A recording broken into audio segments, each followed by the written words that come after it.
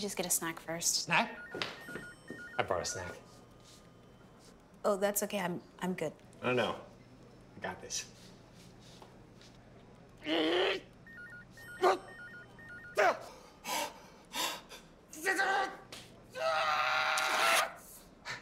Told you I brought a snack. There's a better way to eat pickles on the go. Sucker Punch, the snack with a snap.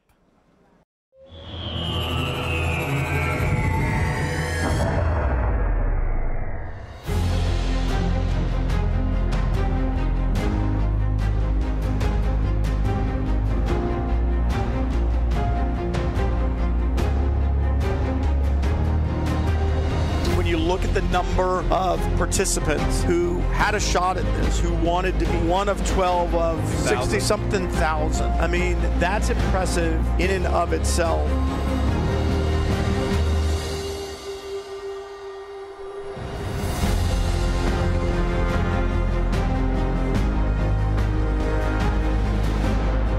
What a diverse group of drivers, what a diverse group of participants. Just really cool. They should all be very, very proud.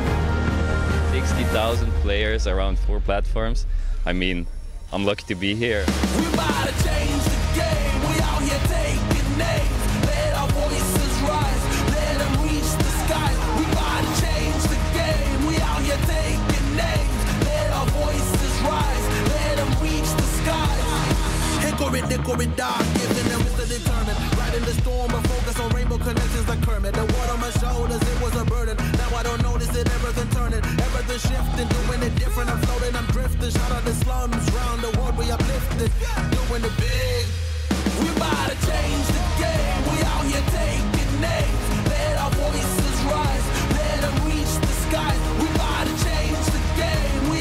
Every one of them deserves to be there, celebrating the fact that they were here and a part of this very first ever Prodigy Week for Racing Prodigy. And what a three days it was. And here we go. They're going to spray it. and let's see if they've learned how to spray the champagne.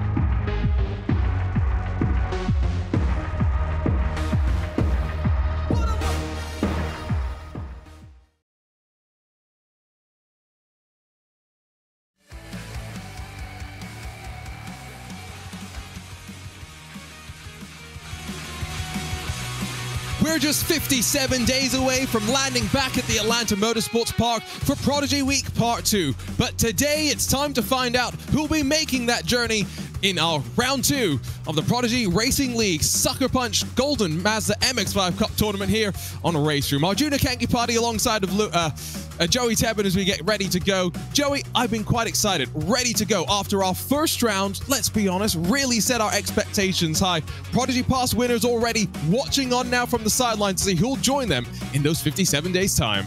Those races at Road America just two weeks ago, absolutely incredible. Just a demonstration of how fantastic Spec Miata MX5 style racing is. But now it's going to be a very different track. Brands Hatch, we've crossed an ocean, more high speed corners, more difficulty in keeping the car on the track. It's going to be a whole nother challenge and another very, very deserving Prodigy Pass winner in just a couple of hours' time. Yes, let's talk about the format, by the way, because if you're joining us for the first time, well, there's a little bit to explain. For those who are familiar with us, there's uh, not much to necessarily talk about because you're familiar with the time attacks that we've always started with. The opportunity for anybody to get onto a public leaderboard and become one of the fastest. Joey, we then take the first 48 of those, split them into two semifinals, set them to the task at hand. Again cut them in half, and then the final coming up later will be where the Prodigy Pass is on the line. It is high drama all the way around. It's not just about fighting for the win in these semifinals, although that is very important. You do want to start up front. It's also about fighting for that 12th place transfer spot. So every time we do one of these semifinals, it's those spots between about 10 and 15 that are most hotly contested, and that's going to be a fantastic place to watch. And then once you get into the final, we do a little bit of the Prodigy Zipper, where the top 12 qualifiers from the semifinals are ordered by their lap time, their fastest lap time in the race. So, for example, the fastest first place finisher gets to start on pole, the second fastest st- first place finisher gets to start second, and so on. That's the magic of the Prodigy Zipper in qualifying. And it's always interesting to try and figure out how much they really want to push to try and make sure they get that fastest lap. And looking through that, the most important thing, I guess, that we haven't touched on just yet is the fact that three Prodigy passes going to be earned from each of these event finals. We've got one more coming up uh, in a couple more weeks' time, but one more to be handed out from the racing action. That is the overall series champion. Two, though, will be selected by the Prodigy Se- uh, Selection Committee. We'll talk a little bit more about that as we dive into all of the action. But we have so many people that make all of this possible. Let's talk about them. Let's thank them for their support, and then we'll focus on their cars racing out on track. Sucker Punch, all natural pickle juice shooters for clean hydration. Pickle chip pouches perfect for those long sim racing sessions or days at the track. And the Jarred Pickles with knockout flavor, the champ of Chomp. Now available in the US. Mazda Motorsports has partnered with Racing Prodigy to continue its mission of supporting race car drivers, enriching lives, and developing the next racing prodigies. Mazda is supporting participants by providing $2,500 in coaching vouchers on the Racing Prodigy coaching marketplace.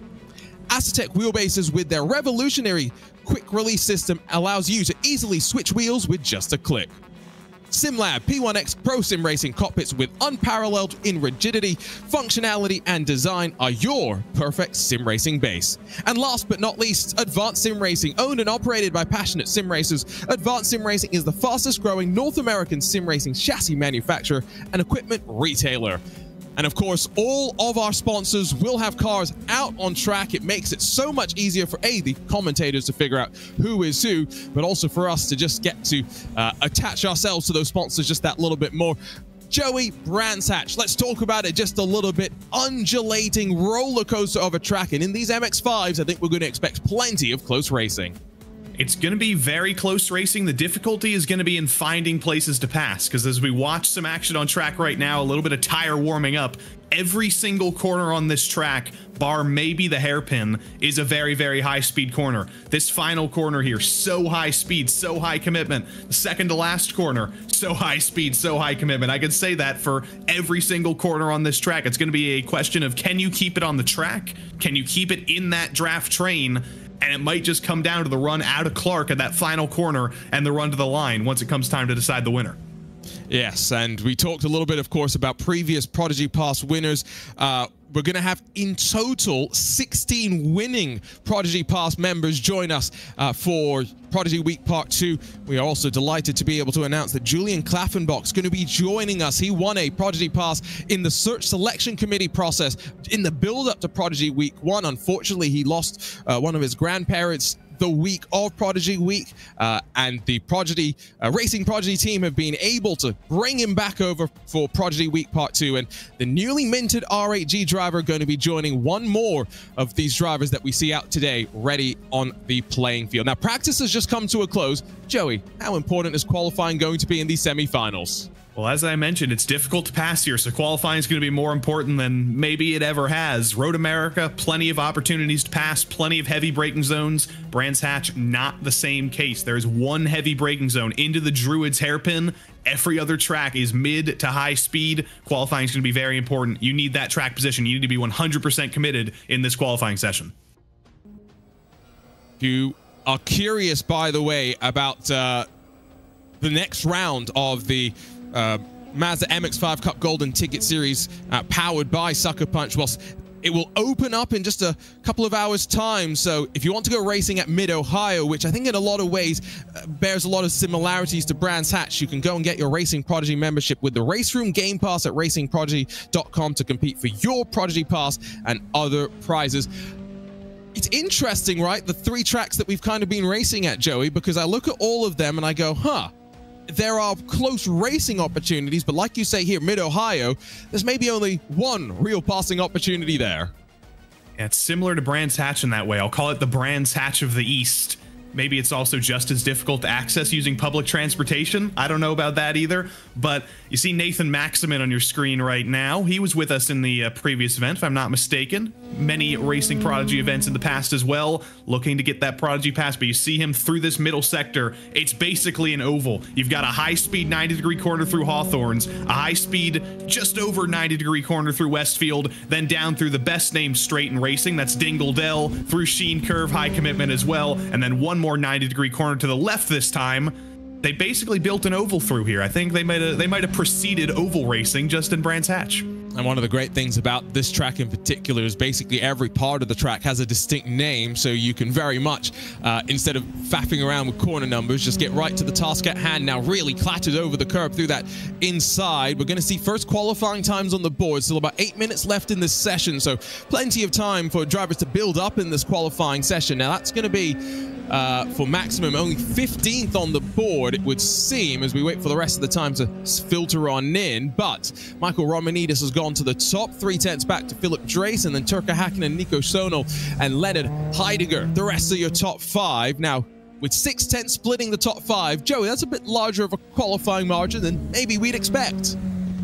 But with a track that's as committed to commitment as this one is, you can kind of expect a little bit bigger of a margin in qualifying because there's not as many heavy braking zones that'll even out the field. It's all about who can be committed. I'm going to say the word committed about 15 more times because that's what it's all about. If you can carry the most speed, if you can be inch perfect, there's tense in that through every single one of those high speed corners.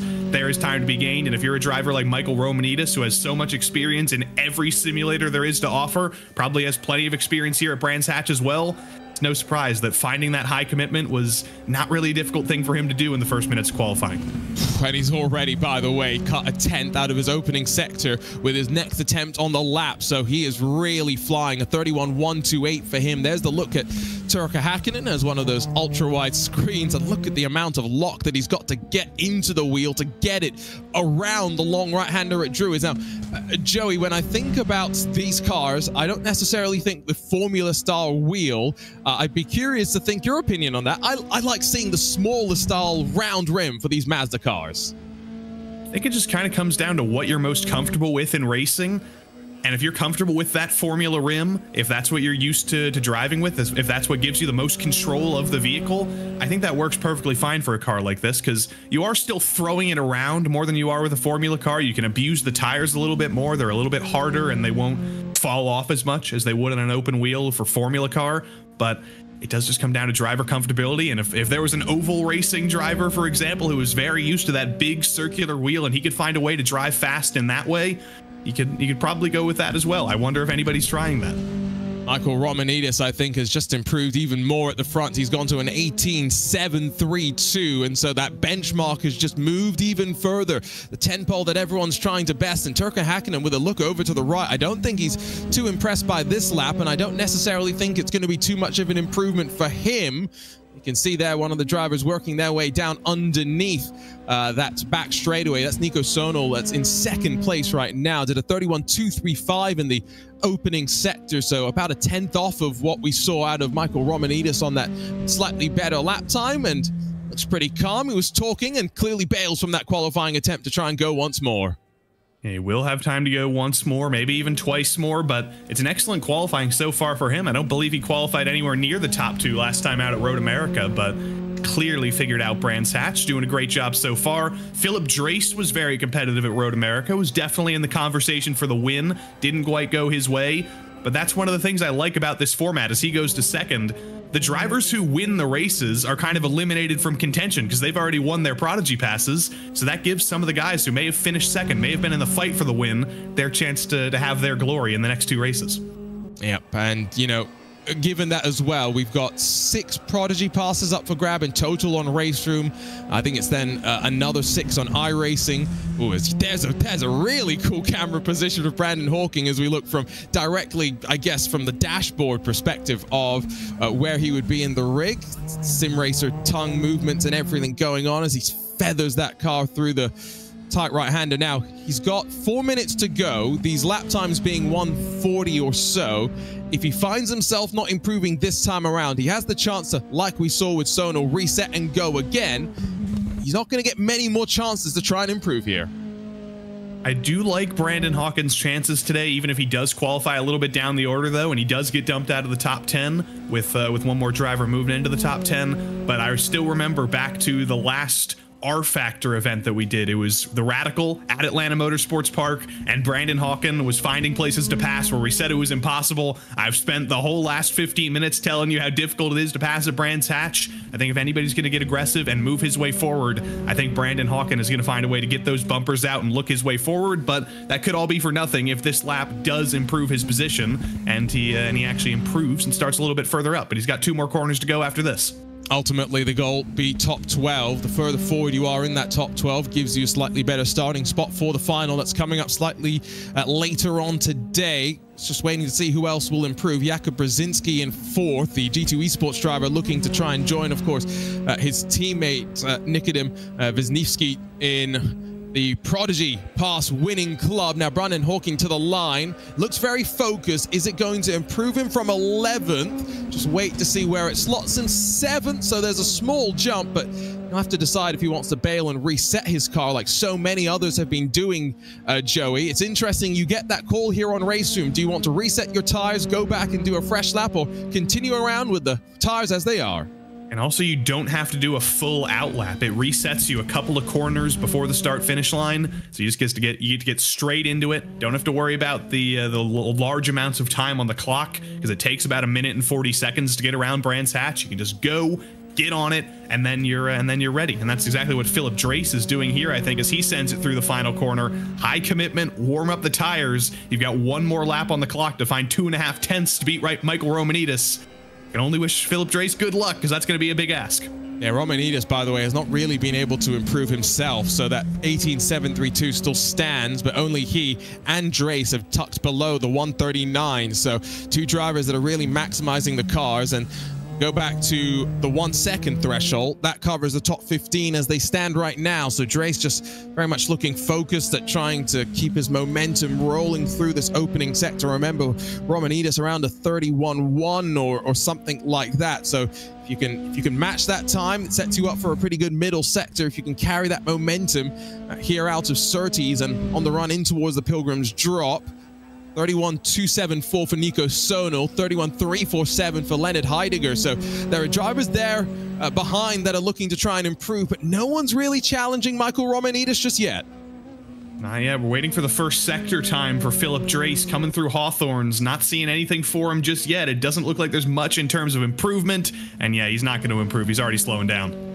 Yeah, I'm not sure if this is just a blip on the timing, but we're not getting sector times out of him right now. So 60 seconds left in the session. We're just kind of judging from the body language of the car, and it's looked calm. And I always go back to what Top Gear used to say, where, you know, if it looks calm, it looks reserved. It's sometimes quick in machines like this, but he's looking up now, bit of a sigh. Not exactly sure what to expect as he rounds himself out of the final corner. And we did get data that he was three tenths off in the middle sector. And when you're three tenths off to P1, that does not necessarily add up to good things. Let's see what he can do through the final corner. He can't do anything because qualifying's come to an end a second before he hits the line. He wasn't improving anyway, though.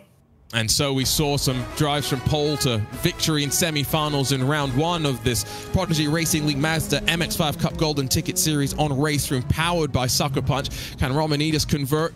Well, the Command Esports drivers got Philip Drace, Nico Sonal, and Leonard Heidegger, all within about four tenths of a second, as is Jakub Brzezinski, Turkka Hakkinen, Veal Krevy, and then Brandon Hawkin, Nathan Maxman, and Michal Neg round out your top 10. And really, close margins. Think about what the draft's going to do to keep them close to one another. David Nemchek and then Angelo Michel, 11th and 12th positions with Frieder Braun, Radoslav Orbital, uh, Hassan Gellert, Lucas Wallering, Faruk Udawai, rounding out the top 16 or so as they get a couple of minutes now in this warm-up session with which to work. Joey, that was close margins. Michael Romanidis doesn't look too fussed or concerned about that lap, but there's still a long way to go today before uh, we, we can crown our Prodigy Pass winner.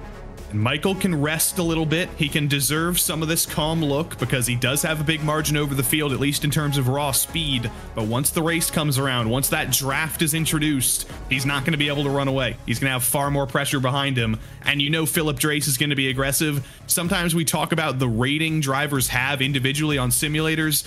Doesn't necessarily matter as much here, but Philip Drace is a higher RaceRoom rating than any other driver in the field. That tells you he's got a lot of reps in this car and potentially at this track on this simulator as well. He's going to be very comfortable even from that second place position. Philip Drace, one of those drivers with a lot of experience here on RaceRoom. Of course, Michael Romanidis bounces around of the sim racing world, former F1 esports driver, and he's really been following along in this racing prodigy adventure. Even saw him uh, across of uh, season one, part one, bounce across of all the platforms. So looking forward to seeing what Michael Romanidis can bring to the table from the front today. And of course, he will be looking to make sure he gets a pretty fast lap time onto the board because as you mentioned, Joey, the Prodigy Zippers, something you've got to consider. I mean, that's something they should consider for a merch opportunity. I think I mentioned that last time as well. Sell a nice little Prodigy zipper. I'd, I'd certainly buy that. But also, Michael Romanidis has to win one of these one of these days. It's literally been almost every single event we've done that he's been in contention. Even in the oval racing events, he's tried to be in contention and tried to win a Prodigy Pass, and he's just come up short every time. But I don't know. I feel I feel the most confident in him today. I think this could be the day where it finally happens. If he can keep everything clean, keep everything together, this could be a glorious day for Michael Romanidis. Remember, May 13th through 15th, it's Prodigy Week Part 2 at the Atlanta Motorsports Park. And so all of these drivers have circled on the calendar. That warm-up session now officially done and dusted, so they'll get their marching orders to head down to the grid, and we'll get ourselves underway 24 drivers enter, 12 will advance to the final. The other 12 will be watching on and hoping that either the final round at Mid-Ohio will go their way or they can achieve sufficient points total in the overall leaderboard, which, by the way, today's race does not count for. So this is very much a separate event from the overall leaderboard that the drivers are contending with. We've got 40 seconds to go before we get ourselves underway. Joey, does Michael Romanidis convert from the front? Do we see some action for the lead, or are we going to see a bit of a train as people just try and stay inside of the top six without fighting? Well, there's going to be a lot more action. I think we can say that much, but I don't know how much aggression there's going to be early on. I think we're going to see a little bit of a similar race that we did at Road America during the semifinals, where drivers maybe don't really want to fight early on, and they're going to be a little bit conservative and fight for it at the end, but they're not going to lose too much.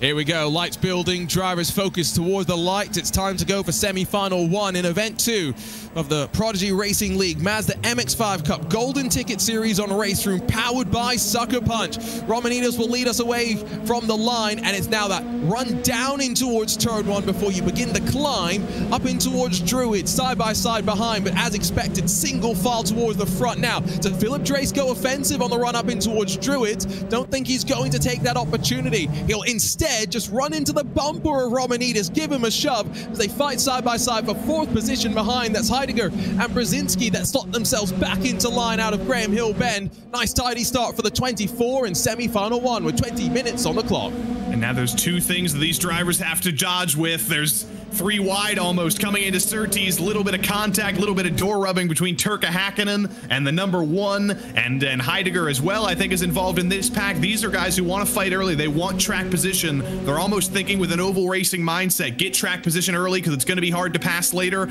And some of the drivers up front, I think, are being a little bit more conservative. Not the case for the battle between fourth and seventh. Oh, gonna run very wide. Uh, is Heidegger there? Comes back into line as uh, Vilkravi as well as Jakub Brzezinski still alongside and sitting behind. Turkka Hakkinen's going, where do I even place my car? Every which way you look, these drivers costing each other valuable time. Already the margin between third and fourth position grows to around 1.3 seconds. Big, big blocking coming from that right white machine as they all filter through the corner. Brandon Hawking gets past Nathan Maximan on the run down to the final run. But this is getting absolutely crazy to the inside of Nathan Maxman. I think that might have been Neg, but that's not going to happen. Actually, yes, it does. The number 71 does get to the inside. Late move, aggressive move, but side by side down the start finish straight is going to slow them down even more. It's going to make Brandon Hawkin very happy that he gets to try and run away a little bit. But this is so important because this is the battle for the last spot in that top 12, the last transfer spot. It's the battle between about 10th to 15th. All of these guys are going for that last spot. And they were three wide in through the opening corner at Paddock Hill, but they got it sorted out. Now leaning on one another as they filter off of the corner. I mean, this is crazy. David Nemchek's part of that fight, and behind him, I would believe it's uh, Frieder Braun and Angelo Michel, Lucas Wallering, uh, Faruk Udoai, Radoslav Orbital, Hassan Gellert. I mean, the list goes on and on and on, and no one's really been dropped from the train just yet. 24 cars for the most part still in one long line, albeit with a couple of gaps here and there. Yeah, the biggest gap is between third and fourth, which is understandable because Romanidis, Drace, and Cernal kept single file and, uh, and didn't fight too hard in the opening laps. Heidegger was busy getting swallowed up by Cravey and Hakkinen and Brzezinski and everybody behind him fighting for those positions. So I think we may see a little bit of a separation here. We'll see a three-car battle for the win, and we'll see a, uh, a 19-car battle potentially for every other spot in the top 10. That's the look at Jakub Brzezinski, who's very much focused right now and locked into the task at hand, which is riding behind Turkka Hakkinen, Veal Crevi, and Leonard Heidegger. Is he See racing in his kitchen? He very well could be. I used to race from uh, inside my living room, which basically meant that, yes, you could go and see into my kitchen as well. But some of these drivers, of course, make do with what they have. And Brzezinski, along with his teammate uh, Nikodem Wisniewski at G2 Esports, made the switch over from Williams and really settled them nicely into their new surroundings, along with the likes of Isaac Price as well. You can see the margin behind growing ever so slightly. Feed them a little bit more confidence. Will they start to fight again, though? Because even if they've lost track of those in front, this is just better grid position for the final. Brzezinski had a look. They're all having looks as behind. They start to run into one another. It's Mihai Neg and Brandon Hawken going at it. Romania versus Canada. How about that for a World Cup battle? Hawken's going to hang on, though, and he's going to be happy looking ahead of him because Brzezinski, he may be racing from his kitchen because he's cooking something right there. He's been sending it every opportunity he's gotten. He's looking to the inside through Surtees, and I think he has actually, uh, he's managed to stay ahead of Brandon Hawken, but he has managed to continue that fight. Still looking at those two side by side ahead of him with the two Finns going at it, Hakkinen and Cravey. Yeah. And this is the, like you mentioned, where really you've got to focus on because it's that top 12 cutoff where people are going to be focused on. Oh, they got to be careful here not to run each other too hard. It's going to be a potential to cut back underneath, but single file once again for Mihai Neg as he now slots in behind. Uh, Nathan Maximum allows Nemchek and Braun to close the margin. Angelo Michel, again, the first driver on the outside looking in right now in 13th position. This, though, they'll look slightly further back at those just trying to hold on to the train as Franek Sikorsky in 18th spot, uh, directly behind Ian Pfeiffer. Yes, Korsky trying to fly forward like a helicopter, but all these positions are very important. They might not be in the top 12, but if there's trouble up front, how many times have we had late race crashes and calamity with multiple cars involved, and then the driver who was in 16th or 17th or 18th ends up transferring into that last spot in the top 12 and ends up transferring into the final. That's why you've still got to fight so hard for every position, even if it might look hopeless. You never know what can happen in racing. You never give up until 20 minutes is up. No one with too much damage, at least here, although very, very sideways was that sucker punch car as they rolled down out of the corner. Look to the inside momentarily behind uh, for what would have been 12th and 13th position. So Frieder Braun and uh, Angelo Michel uh, work their way up back towards Surtees and the run on towards uh, Pilgrim's and towards Hawthorns. And just look how close they are. If you're Frieder Braun as well, if you see the Sucker Punch car in front, David Nemchek make a mistake, you've got to go for it, don't you? You can't really wait around. And so outside for a moment, slinks back to the inside before realizing he won't be alongside enough to force the issue. We get a great look at more of the cameras. Great to be able to filter through the field. How about some racing inspiration for Frieder Braun back there? He's got the he's got the old DTM cars to the left. I think that's uh, Michael Schumacher at the Race of Champions on the right. That's that's some pretty good racing inspiration behind him. Who's your racing hero, Joey? Who's my racing hero? I don't know. That's a good question. Come on, maybe, come on. Maybe maybe, maybe Boris Said. It's not. I love I- Boris Said because he was gonna always because he's always thrown around those sort of lower budget cars and was very successful in them. The original road course ringer in NASCAR, win in Montreal. I'll go. I'll go with Boris Said.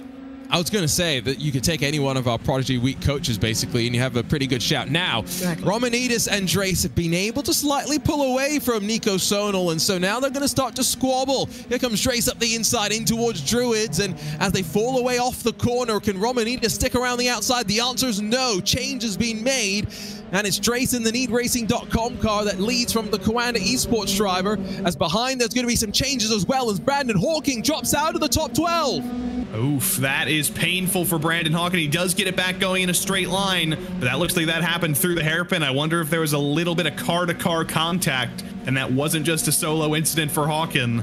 But I don't know. He's got to keep fighting, and just as he's trying to get back into the rhythm, he's forced side by side with Faruku Dowie through Surtees. He's still getting the elbows out, and his facial expression hasn't changed one bit. He is still 100% business and still fully committed. He wants to get back in that top 12. He's in that MPI machine as they go side by side for, guess, what is going to be 17th and 18th behind. So that's uh, Pfeiffer and Sikorsky. I really love this camera perspective, by the way, because it just gives you so much insight as to what the driver is really going through. Sometimes you see in sim racing camera angles a lot more of the wheel and overall picture itself, but never too much of the emotions on the face. And Brandon Hawking, not too frustrated right now, knows he just has to get a couple more positions, get himself into a chance to be in the final, and he'll have a spot uh, up for grabs at the very least. And uh, that's all he's got to work with. 20 minute race, Joey. It's not particularly long. We're coming up on the halfway distance point. It's not especially long, but it, it does kind of feel long when you're in some of these battles. Romanidis has probably felt like he's been racing for about 20 minutes right now, but he's still got half of the race to continue fighting, and he's got to do a little bit more research now. How does he go on offense instead of defense? He's been leading the race for the first eight minutes or so, but then there was a formidable racing development, and Philip Drace got by. And now he's got to think back to all of those previous Prodigy events. He's got to think up to back to all of the practice he's done today and think about where he can repay the favor and find a weak spot in Philip Drace. Maybe as well, there's a bit of gamesmanship that you have to play, right? Going back to the, the Prodigy Zipper, if you think that Drace is actually faster right now, and you know, being realistic, these cars, they're not really going to get that much faster over the course of the fuel burning off. You're just going fast no matter what. So if he thinks that Philip Drace might actually have a faster one lap speed in race trim, maybe he takes advantage of the draft, gets a faster lap behind, and then takes the lead. You see what I'm saying here, Joey? It's, it's very big brain math that I'm trying to speculate. Michael on. Romanidis is a smart guy. He does wear glasses, but I think that's that's a little bit too galaxy brain even for him. It's one of those things where, again, I don't think the drivers really are It's thinking like that that's like. Nobel Prize stuff. Yes, again, again, drivers probably don't care that much about it, but, But we why as that's why we make up the stories. Exactly. We make up the stories to keep it interesting. Uh, Angelo Michel in that grid engineering car, strapped into his rig and strapped into the top 12 right now. It's a decent gap behind to Hassan Gellert, Joey, 2.2 seconds. And so, you know, as we focus back up front and a fight for the lead, Romanidis's back alongside and now to the inside. Oh, a little bit of leaning on one another as they try and slide to the left in towards that opening corner change for the lead. But in that battle for 12th, you don't want to see this much fighting because it will just cost them time and bring those behind into the fight. And the happiest driver right now is Nico Sonal because all of that battling just brings him closer to the battle for the front. I think that also gave us an answer to uh, to is Michael Romanidis doing some galaxy brain stats and falling back? No, I think he's just waiting for another opportunity and he went for it the second he got to the inside and uh, the second he could take that lead back.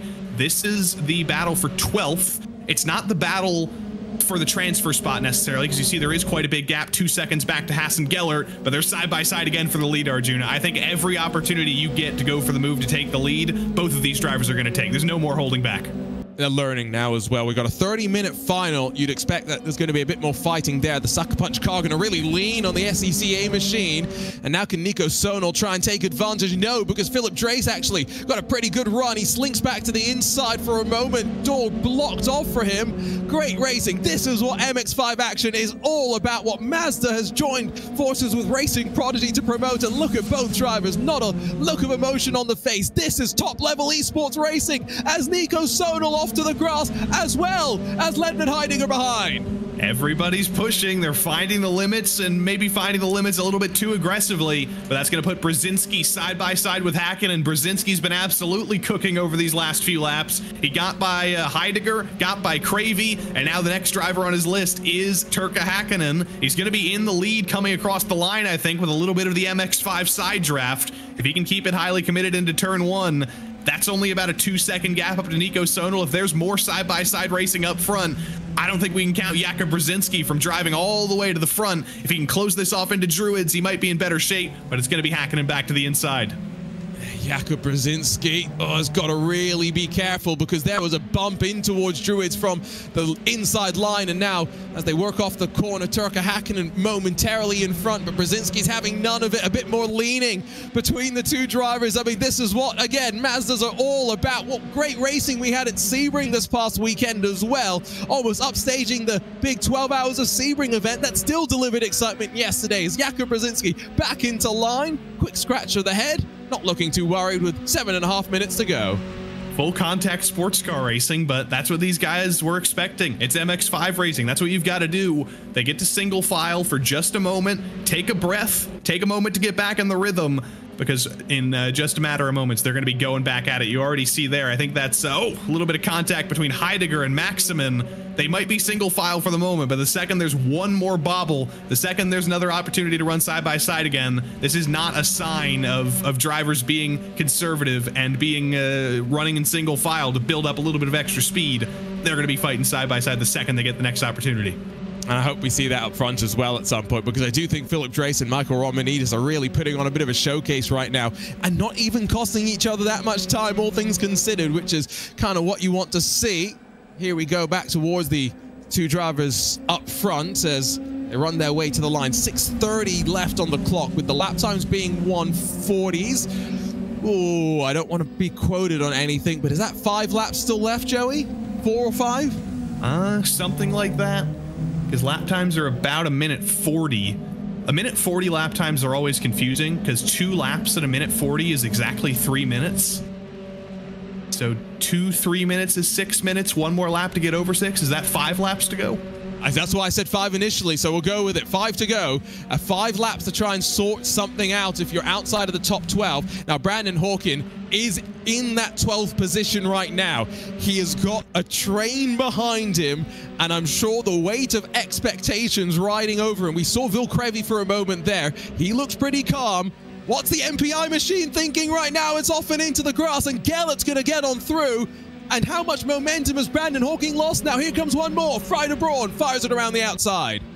Lost quite a bit, and it's a long straight coming into Hawthorns. He's going to be suffering for that for just a moment, but Surtees is such a difficult corner. It's a lot tighter than you'd expect, and Brandon Hawkins carried a little bit too much speed, thought he could get in the throttle earlier than he actually could, and ended up throwing it off the road. But his fight's not over, as there goes, uh, the, that was Frieder Braun going around on the exit of Westfield. And so, suddenly, one more driver in trouble. Brandon Hawkin finds himself still with some opportunities, and that was very heads up by Frieder Braun to avoid running back into oncoming traffic and to avoid making that a worse situation. Focus attention back up front now with five minutes officially left to run. The Sucker Punch MX5 machine of Michael Romanidis fades up high and tries to set something up through Druids. So much rotation on the inside curve for Philip Drace, and we'll see him hold on to the lead as they come up towards that turn two complex once more. But Joey, you said this was a track that was hard to pass. These drivers have really just put on a show. I must say, this has been great. I think that's why you're seeing everybody get so aggressive, spe specifically because it is so hard to pass.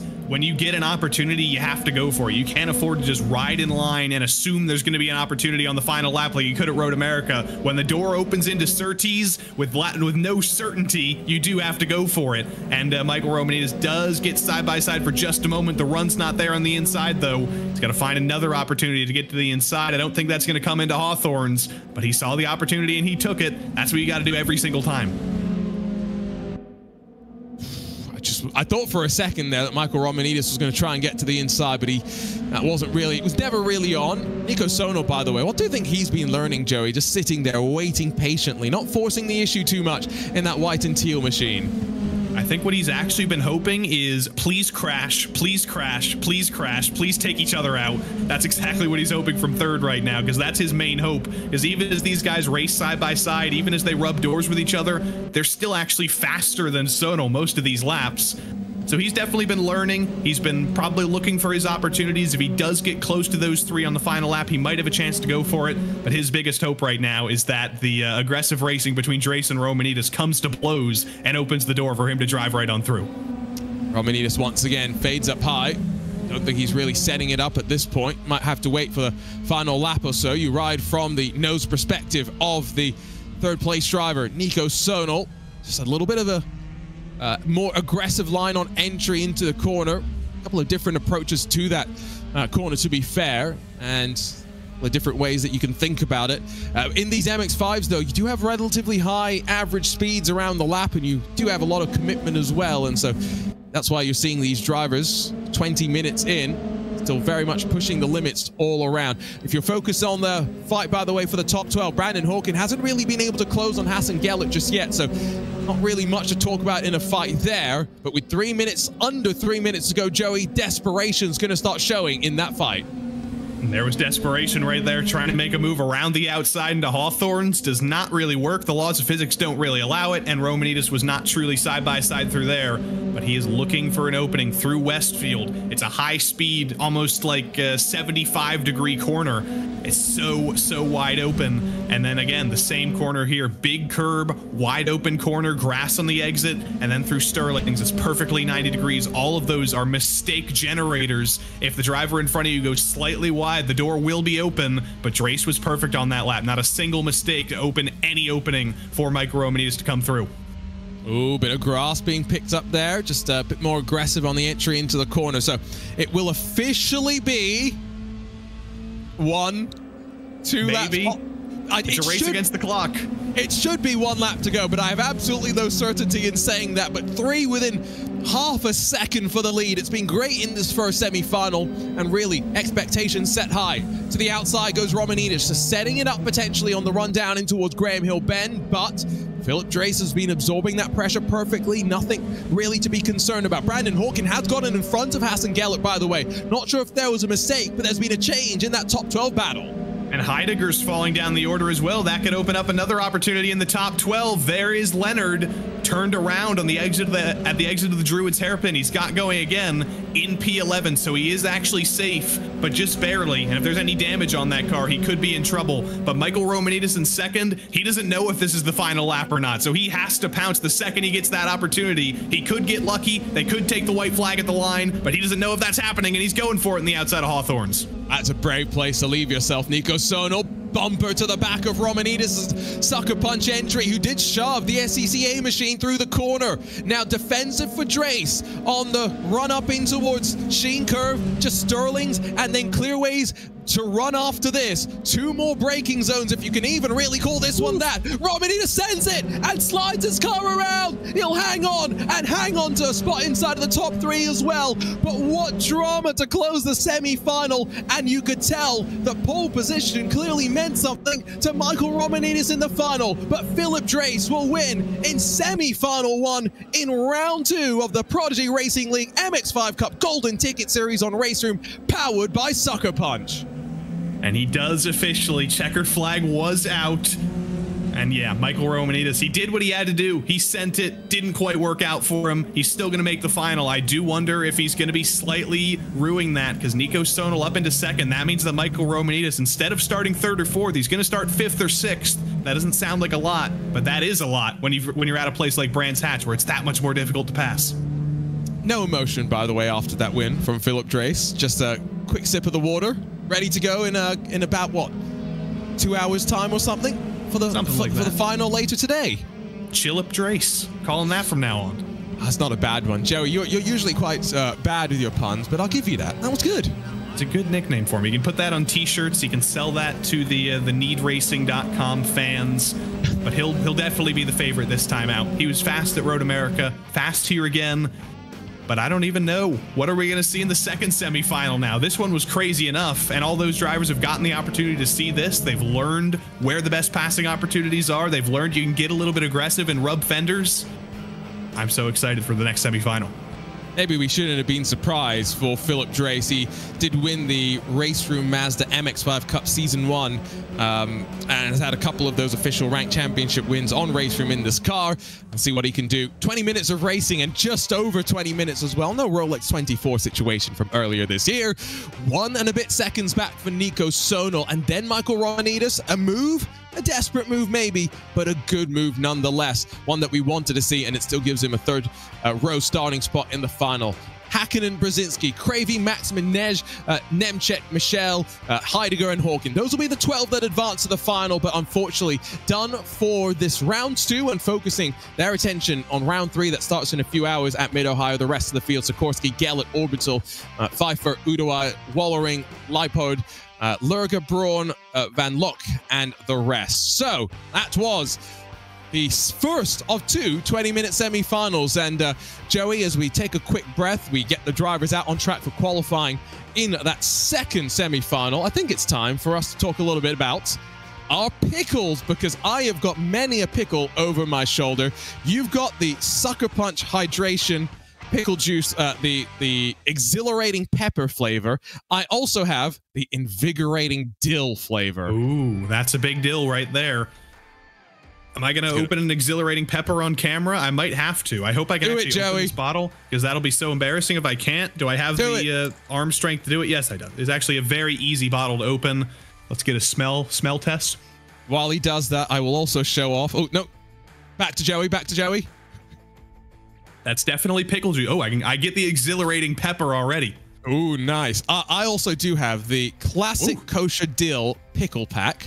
Ooh. Um, ooh, indeed. And then, of course, I still have the fiery heat. Three. Is it going to focus? There we go. Beautiful. Yes, all the pepper products uh, we have been pickled up, as you can see over my shoulder. I have a supermarket worth of IndyCar parts Fantastic. And Sucker Punch pickle stuff. What more could you ask for, Joey? What I more could, could I you could not ask? ask for anything more.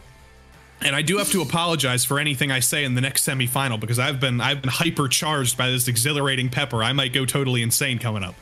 you have been exhilarated by the pepper. I must say, by the way, the packaging is fantastic, as was uh, my impression of the person on the on the bottle here. I've got to get myself in, in camera. There you go. Look at this. You're gonna Very- get hired. I, mean, I hope so. I I, I, modeled before, uh, but not for anything good. The old pickle model. That's good stuff. That's Uh, highly that's highly rated in the modeling world. If you get to the pickle level, that's like that's the highest level. yeah, you've got foot models, uh, feet models, uh, foot, feet models, hand models, and then pickle models. That's the that's the whatever you call it pyramid of of modeling. I could do the the rotating thing. I could be like uh, Ooh, QVC kind of. QVC exactly. Picked up what you're the- putting down. For the low price of seven hundred ninety nine ninety nine, call in and get your sucker punch hydration pickle juice with electrolytes, no. exhilarating pepper. It- it- it's uh, I actually don't know how much the pickle juice shooters cost. What I do know is Probably about uh, 150, 150 times less than what I said. these are seven ninety nine at your local Whole Foods and and uh, Amazon uh, because yes, you can buy them on Amazon. Also, give a big shout out by the way, as mentioned, Mazda providing twenty five hundred dollars in coaching vouchers for the Racing Prodigy Coaching Marketplace. And by the way, even if you don't make it to these finals for each of the RaceRoom tournaments, the top 25 in the series in points are eligible to win a SimLab P1X Pro Sim Racing cockpit. Some of those Mazda uh, Racing Prodigy Coaching Marketplace uh, vouchers as well. As well as advanced sim racing gift cards and advanced motorsports coaching gift cards. So, all ways for Joey drivers to upskill themselves and build themselves up for the rest of the tournaments that we've got coming up, even if you aren't part of Prodigy Week Part 2, there's still plenty more in the pipeline for 2024. And that's good stuff. If I were to turn around here, run past the Atlanta Motorsports Park, go back home, and uh, look at my sim rig, I could definitely use all of those upgrades. But that would require me being fast enough to participate. Arjuna, I'm no racing prodigy. We're just here in the booth, so uh, I might have to. I might have to go to Advanced Motorsports School if I want any hope of doing that. Yeah, I unfortunately wrote, uh, said some things during the build up to Prodigy Week Part 1 that uh, meant that I may have committed, may have promised that I was going to run around the Atlanta Motorsports Park. now, the schedule yes, was so busy in Prodigy Week Part 1, as everyone at the team can attest to, that we never had a chance for me to actually go onto track and do the run. Sure. Um, we Just take an exhilarating pepper. It'll give you the power. Well- It'll take you around there. Joey, I, I regret to inform you, or maybe I regret to inform me, that we're already having discussions about how to make sure we slip that into the schedule. Behind the scenes at Racing Prodigy, we have a new social media person as well. So if you see some fun content, give a shout out to Sam. The problem is, Joey, I've been told he's a runner. I'm not a runner. Uh, that's not good. Although you're, how tall is Sam? Do we know this? Six. I'm six foot five. So if Sam is three three, then every two steps he takes is probably a step of mine. It's That'll the be only your- way it's fair. Yeah, that'll be how you win. You just need a very, very big handicap there.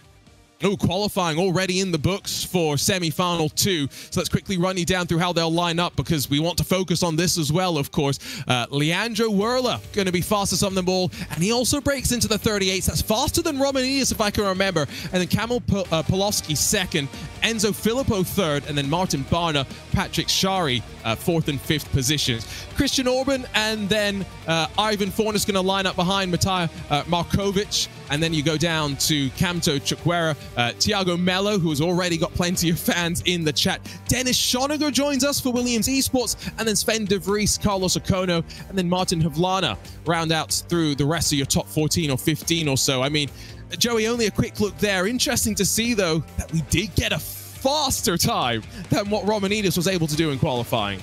And one name you didn't get to, Arjuna, was the uh, driver who starts in 16th, Ellis Costello. How about that for a name?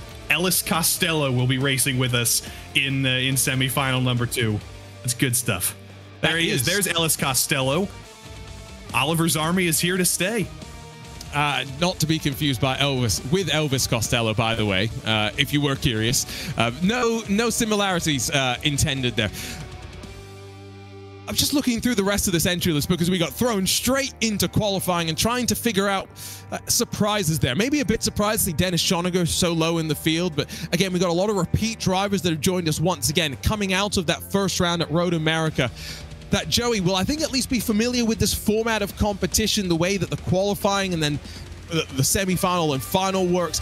At the front, though, Pal- uh, Pavlovsky, uh, Filippo. Should we probably expect something similar from what we saw between uh, Philip Drace, Michael Romanidis, and Nico Sono?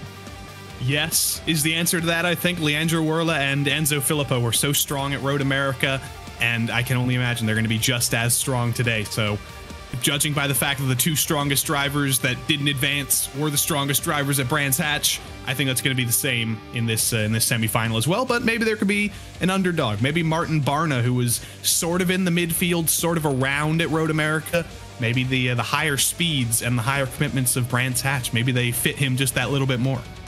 Yeah, there's a look at Camto Chukwera, who has been part of a couple of our selection committee uh, top 20s. So focused and locked in on the task at hand out of Ireland. One thing I do like, by the way, about RaceRoom is that we get all the, the countries on the timing tower so you can really see the true international flair that we have uh, here at Racing Prodigy. It is an international journey to bring sim racing prodigies the opportunities to go racing. And let's not forget the goal, what we're all building towards here at Racing Prodigy with Prodigy Week Part 2 is hopefully later in 2024, the very first Prodigy draft, building up to the first hopeful Prodigy Racing League Real World Series. Oh, it's going to be a lot of fun. May 13th to get ready for three days of Prodigy Week action at the Atlanta Motorsports Park. Ready to go though here for semi-final two. Drivers getting the final moments. Joey, will any of them be watching semi-final one and maybe have learned a couple of things from that? They definitely were watching. They were probably focusing a little bit of time to practicing, but I think they know that it's going to be tough to pass. You're going to have to get just as aggressive as Romanidis and Philip Drace were if you're going to want any hope of winning or advancing for that matter. Here we go. Time for semi-final two. 20 more minutes on the clock. 24 enter, 12 advance. It's round two, semi-final two of the Prodigy Racing League Mazda MX-5 Cup Golden Ticket Series on RaceRoom, powered by Sucker Punch. Away we go, and Whirler with a great jump to lead us down in towards the Paddock Hill Bend. Pavlovsky, though, instantly to the outside, not thinking he's going to challenge by any means, but just trying to tuck into line and get the best run out of the corner to set something up on the climb up towards Druids. Barna and Filippo fighting behind as the long way around for Pavlovsky. He's going to run out of road eventually and single file off of turn two. The top 10 will work. And another thing these drivers should have hopefully learned from the previous semifinal is you do have to be careful about fighting hard on lap one because we saw a three-car breakaway with uh, just those top three with Sono Romanidis and and the race winner. But that's a spin in the back. Unfortunately, it was almost entirely clean, but, uh, I think Melvin Brandt has been the lone loser after after turn two. He's gone around. Seems like uh, Sir Widerick as well, unfortunately, has had some technical issues, so we may not see him out on track. There's Thiago Mello inside of the top 12 for all the fans that are watching on and cheering him on. I'm sure the Brazilian contingent will be hoping to send another Brazilian over to the Atlanta Motorsports Park after Gustavo Ariel really did uh, impress many with his performance all the way through Prodigy Week. Not last, uh, not least though, in the last event of the week with the chase competition that we had. He's really, though, in the midst of the fight right now. Sven de Vries, Martin Havlana, Carlos Okono, uh, Ellis Costello. That's the train that sits behind. And this is going to be the most exciting stuff to watch on the track. There's a little bit more of a train up front, though. It's not just that three-car battle that we saw in semifinal one. You've got Leandro, who's leading the way. He's actually pulled away a little bit, five tenths over these two. But if they're smart, Pavlovsky can be in the battle for the win. Filippo can be in the battle for the win. Martin Barna can be in the battle for the win from fourth. And even if you go all the way to the back of this train, maybe even back to P10, all of those drivers and all of those cars are still within draft range. But how early do they decide to fight with each other? That's going to decide how early we start to break up this train and uh, and form some smaller packs. Yep, the Mirror Esports driver in the MPI machine sits in third.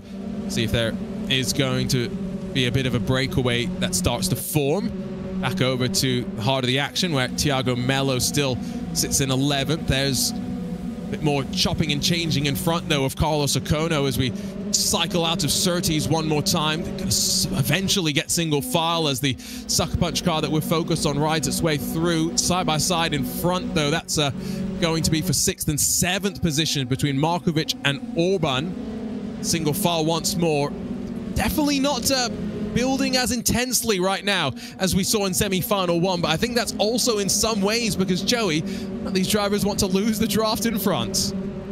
No, but eventually you do just kind of have to go for your opportunities, and that's what we were seeing there with the two Hungarians going at it.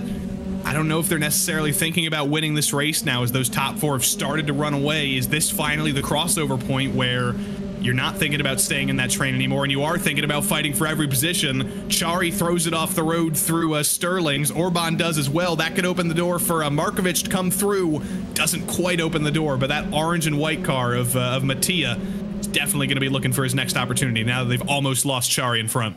Yeah, it's definitely starting to be a bit of a breakaway. Draft not totally broken, but getting to that threshold. It's uh, effectively still four at the front that will continue to work as they file out of turn one a little bit wide for the lead driver in that train as they run up the hill. You can see the moves being sent from behind and a big lunge up the inside in the grid engineering machine. Came a bit out of nowhere as we get a, uh, well, tilt your head and you can look at Matej Markovic. That's just how cameras are in Montenegro. That's okay. You can see that the hands relatively smooth though. As much as you do work you need quick hands, uh, much like Pato O'Ward, to, to, drive these cars. You, you, kind of want to be smooth. You don't want to be wrestling them around too much. That will lose you some momentum as Sven de Vries gets in front of Thiago Mello and puts him down in that 12th position right on the bubble. And Matija Markovic may have the uh, the whole of Montenegro on his back, but Sven de and Carlos Ocano, they're representing the United States in these semifinals. The U.S. drivers haven't had the most success in the uh, in the previous event, but now both of these guys looking for their transfer spots into the final and looking to uh, represent their country at least. Here is Carlos Ocano. He's got that big setup, nice chair. He's got the round, smaller wheel, and uh, he's very very busy pumping pumping it up with Ellis Costello. Oh, and there's the door open. That's immediately one of those drivers feeling a little bit better about the situation because I think that was Martin Havlana that ran a bit wide and bleeding's going to continue. Ferris Krippendorf going to be trying to challenge into the final corner on the track as we close now on five minutes complete, 15 still left to go. Chopping and changing, action starting to build, but not yet at the front where Leandro Werle actually might even be trying to break away now. Six tenths is that margin as out of turn one they plunge and then rise. Pavlovsky, Barna, Filippo still very close as that the chopping and changing in this fight for seventh continues to come on. Christian Orban on the outside and going to lose out as well. Markovic gets the elbows out, a little bit of a bumper to Orban. And side by side, coming down the hill, Orban is going to be able to slot back in line in front of Ivan Fornes. But look at these blocks. We've been seeing these all day. It's just kind of what you have to do. If you want to make sure that door isn't open, all you can really do is block all the way down to the bottom of the track. Hope that you can get the car stopped and not open the door on exit. This has been a school in defensive driving. It's been an experiment in defensive driving. So I hope you've been practicing in racing conditions because it's been some of the most defensive driving we've seen almost ever in any of these events. Still, that fight for 12th, not that close though. Tiago Melo's got some margin to Carlos Ocono. It's one and a half seconds, and so until that starts to close, don't expect the action to rise. Ivan Fornes, who has had plenty of support of his own in the Racing Prodigy chats over some of the tournaments, sits in eighth position. Let's just again just remind you of the Racing Prodigy Zipper. The fastest race lap for each of these drivers will get compared against the fastest race lap for the drivers that will start on the same row. Whoever has the fastest race lap starts on what you would assume is a slightly better starting on the inside line, slightly better starting position, but be honest, Joey, I'm thinking about it right now based on how these starts have gone. The only place that you really care about starting is whether you're first or second. Pretty much. That's that's the most important thing. Other than that, being on the inside into turn one and being on the inside into the hairpin are, are pretty good, but with how staggered these starts are, it's not like a rolling start where you're directly side by side with another car. It is a standing start where you're staggered, so inside outside doesn't really matter. It's just every position that matters, and uh, that's why you're seeing everybody fighting so hard here. Dennis Schoeniger, last spots in the top 10. He's trying to get through on Orban. Orban couldn't block him, but they're going to be three wide into Surtees for a moment. Ooh, who's going to get the best of this one? The SimLab car going to get off the corner just directly in front. So Ivan Fornes holds off Schoeniger, but Orban, Chukwera, Sven de Vries, Thiago Melo, all still there. And Melo's being smart. He's just saying, you know what, you go two by two on the run, run up towards Hawthorns. I'll back out of it. If one of you's in the grass, I'll take advantage. There's a SuckerPunch car on the outside that might get dropped down to 11th. Sure if it's really going to play out side by side on the exit now out of Westfield in towards Dingle Dell. And Thiago Melo saw an opportunity, takes advantage. Camto Chukwera down to 12th. He gets to breathe a little bit because he's got about a second and a half back to Carlos Acano and back to Ellis Costello. But if he gets into any more trouble, if he throws it off the road, if he runs side by side, Carlos is right there and ready to pounce. There is Comto on the bottom of your screen, looks totally calm, just as every driver in this field has. I don't. I, that is just a sim racing thing, Arjuna. That all the drivers are, are, pretty used to this. They look pretty calm, but I just want one guy who's just totally sweating, who looks totally nervous, and is still succeeding. But there's not a single one. I want to make a terrible pun. I'm just. I'm, I'm prefacing what I'm about to say by calling it a terrible pun. Calmto Chukwera. Yes, there you go. I was expecting you to go somewhere with like sweaty, sweaty sim racers who try too hard, but Calmto no. Chukwera. That's good. I'm, I'm proud of you. Yeah, you see, Joe, when I make puns, they're good. That is mainly because they're not very often. I have to think about them very hard. Um, finely crafted. Exactly. Um, they're, you get one extra pickle tonight. Congratulations. It, it's like last week tonight versus the Daily Show. Potentially. It, it, it's the only comparison I can have. You get you you're you're here every day. You're open for business. I'm only open once a week, and and even then, let's be honest, only half the year anyway. Uh, Dennis Schoeniger is going to try and find a way past Ivan Fornes with two seconds or so now up to sixth position as they work now almost halfway through this race. Leandro Werle, Kamil uh, Polowski, and Martin Barner haven't really put too much pressure on one another, but they have dropped Enzo Filippo. So you know, we saw so much chopping and changing at the front of the field in semi-final one. Don't get that same impression right here. Although in terms of pace, Joey, I do feel as though Leandro Werle was faster in qualifying, but not too far separated from the speed that we saw earlier. Now, he did a good job in the opening laps to keep that gap fairly extended, but you can only uh, you can only hold back the draft for so long. And when you have a driver within about five tenths of you, they're going to be able to catch you if they can just keep consistent and keep that momentum up. And uh, Pavlovsky's done exactly that. Sven de Vries, though, this is kind of uh, it's an international battle. It's a nationality battle. You got a lot of Brazilian fans of Thiago Melo cheering him on. The Americans are cheering on Sven de Vries. The Germans are here for Dennis, and and the Hungarians representing to get two of their guys in the top 12 with uh, Orban in this fight as well. And Ireland with Camto Chukwera as well. This is this is the World Cup of Prodigy racing today. Uh, we, we've got it all. And again, Prodigy Week Part 1 was truly international. Uh, can't wait to see what we have in store for Prodigy Week Part 2, 57 days away. 12 winners, 9 countries for Prodigy Week Part 1. Jan von der Heide got the call up on 24 hours notice effectively to fly from Germany and make the trip over to Atlanta. Really interesting to see how he performed. The ITB Racing uh, driver though, Kamil Pawlowski, we were taking a look at his webcam slightly earlier on just before the race. Had a handbrake next to him, hoping that he's not going to need to use that here today, but he's closed that margin, starting to build up speed in the second half of semi-final two. He's totally in the zone. He's got the monitor very high. That's that's interesting. I feel like you don't normally see drivers looking up at their monitor, but he's he's very clearly looking up at an angle to uh, to see his monitor. Yeah, I.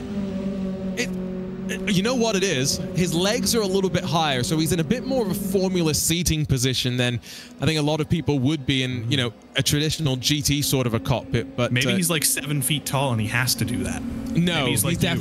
He's definitely not seven feet tall because there's only one sim racing driver that is that tall, and his name is Yuri Kasdorp. And just for saying that, I might have just been banned on Twitter. Sorry, Yuri, I just had to mention it. Anyway, side by side, Dennis Schoner who gets past Ivan Fornes, who got the rear end hanging out of Paddock Hill Bend, and now watches around the outside as moves are going to be made, chopping and changing once more. Watch for the SuckerPunch car. This time of Kamto Chukwara just sit there and watch for his chance to take advantage on the run out of Graham Hill Bend. Comto had one of his family members checking in in the YouTube chat saying that, as always, totally calm, collected, and uh, he can keep it moving. So he is uh, he's doing exactly that. Single file. It's a six-car train now, but this is one of those things we saw in the previous semifinal. You can stratify out to be one by one by one for just a moment, and it'll look a little bit calm, but that doesn't last for very long. Those opportunities are going to come again. Those doors are going to open again, and they're open again up front now because Pavlovsky is 100% committed. He's not going to lose the draft now that he's in with about two tenths of uh, of the leader, and he's looking for an opening. He's trying to find his way to the inside, but that was never really on. It was a late lunge to the inside through Dingle Dell. What do you think ITB stands for in the world of sim racing, Joey? What does ITB stand for? Is it in the barrier? No, that was basically where I was going with it, though. You'd think maybe in the barriers. No, ITB esports team based out of the UK from a Counter-Strike background into the breach, and that was Kamil Pawlowski trying to get into places that really you don't want to get into. Now, they pulled away from those behind. Enzo Filippo's been passed by Martin Barner. It's just these two with six and a half minutes to go.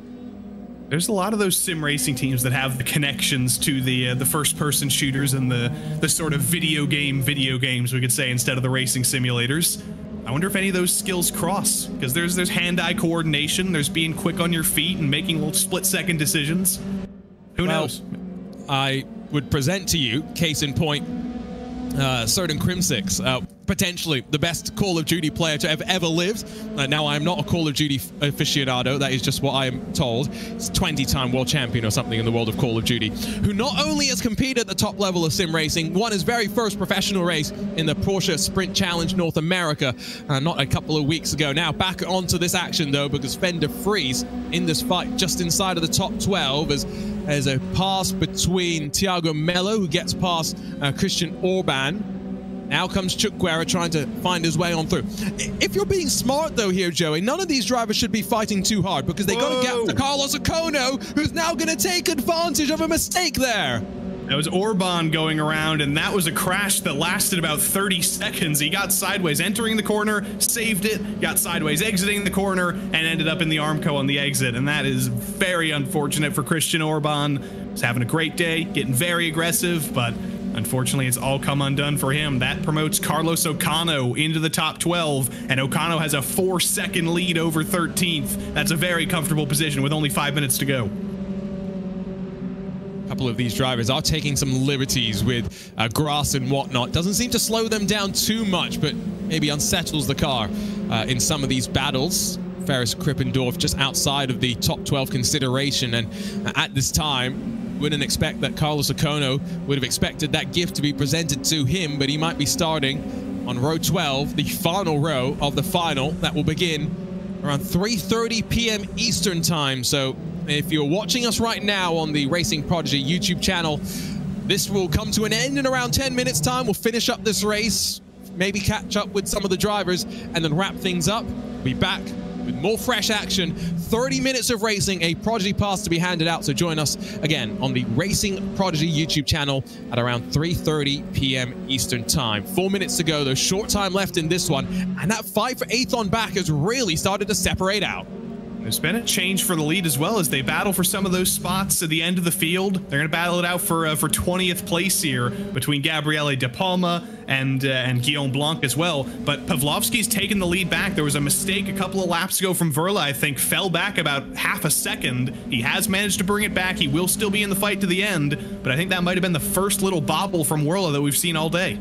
And so, at least as it stands right now, if we were to see the checkered flag at the line, it would be the drivers that started in second uh, in respective semi-finals that would be on the front row, and the pole position sitters would share row number two.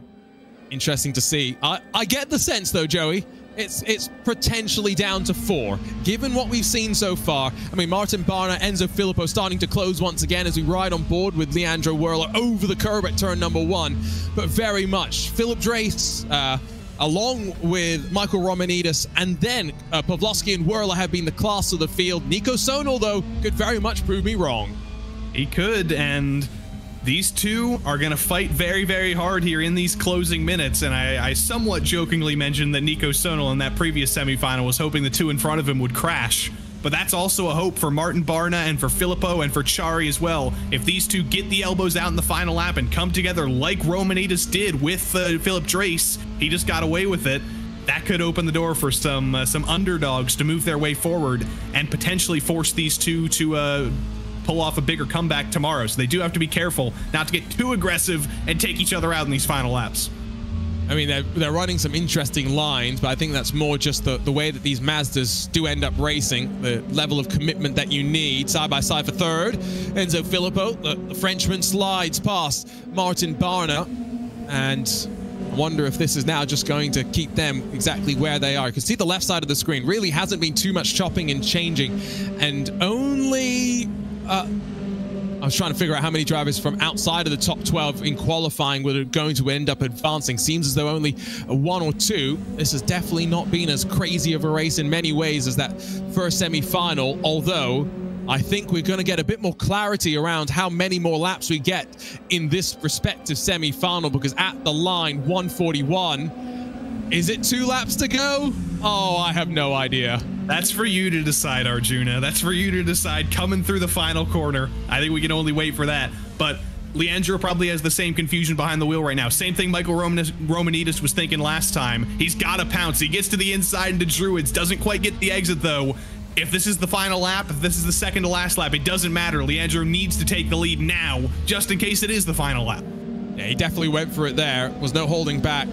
I'm not entirely sure is the answer. I felt confident coming out of the final quarter in semi-final one. That was the end. I have no, I have no idea this time by.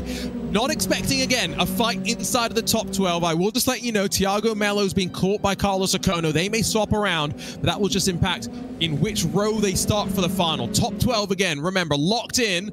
Now, can they get locked in through this middle sector? Pavlovsky covers very slightly. Werle's right there, though. I don't know. We may get one more here, Joey. I get that inkling. Well, coming into Michael Romanidis' corner here in two more corners, that's going to be the real test as Werle ascended. He's got a great exit there through the third to last corner. The door is not open to the inside. Sending it in, though, is Pavlovsky. He's going to hold on to the lead, but now it's just a race against the clock. Werle is desperately hoping there is one more lap because he needs another opportunity, but uh, checkered flag comes out. Well fought by Pavlovsky to uh, take this at the end. Well, we definitely have had 20 minutes of racing, right? Right? Clock ticks down.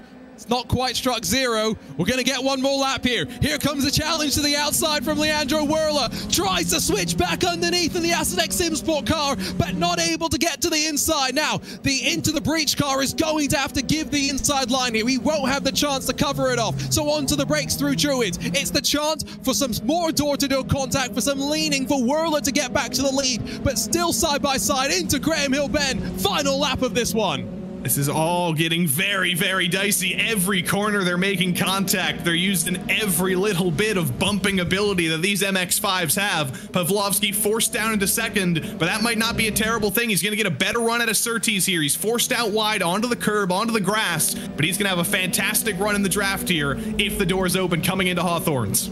I don't know. I, I think it's going to be the middle, the, the, final sector. If there is going to be a move, Leandro Werler timed that perfectly. I think he knew there was one more lap. Didn't go too aggressive because he could have forced the issue a lap ago. You can see behind Enzo Filippo has dropped Martin Barner as well. So he's making a case to be counted, by the way, come the final itself. 30 minutes of racing. Maybe he'll be a little bit stronger towards the end when the tires come back towards him. Just now got to get through Stirling. This is where some lunges were made in semi-final one not going to be made this time around. He's got one more shot into the final corner. I don't know if it's good enough exit to go for it, but Pavlovsky needs to find every last bit of braking ability he has. I think he knows he's not quite close enough to make it happen. And uh, Leandro made it happen when it counts.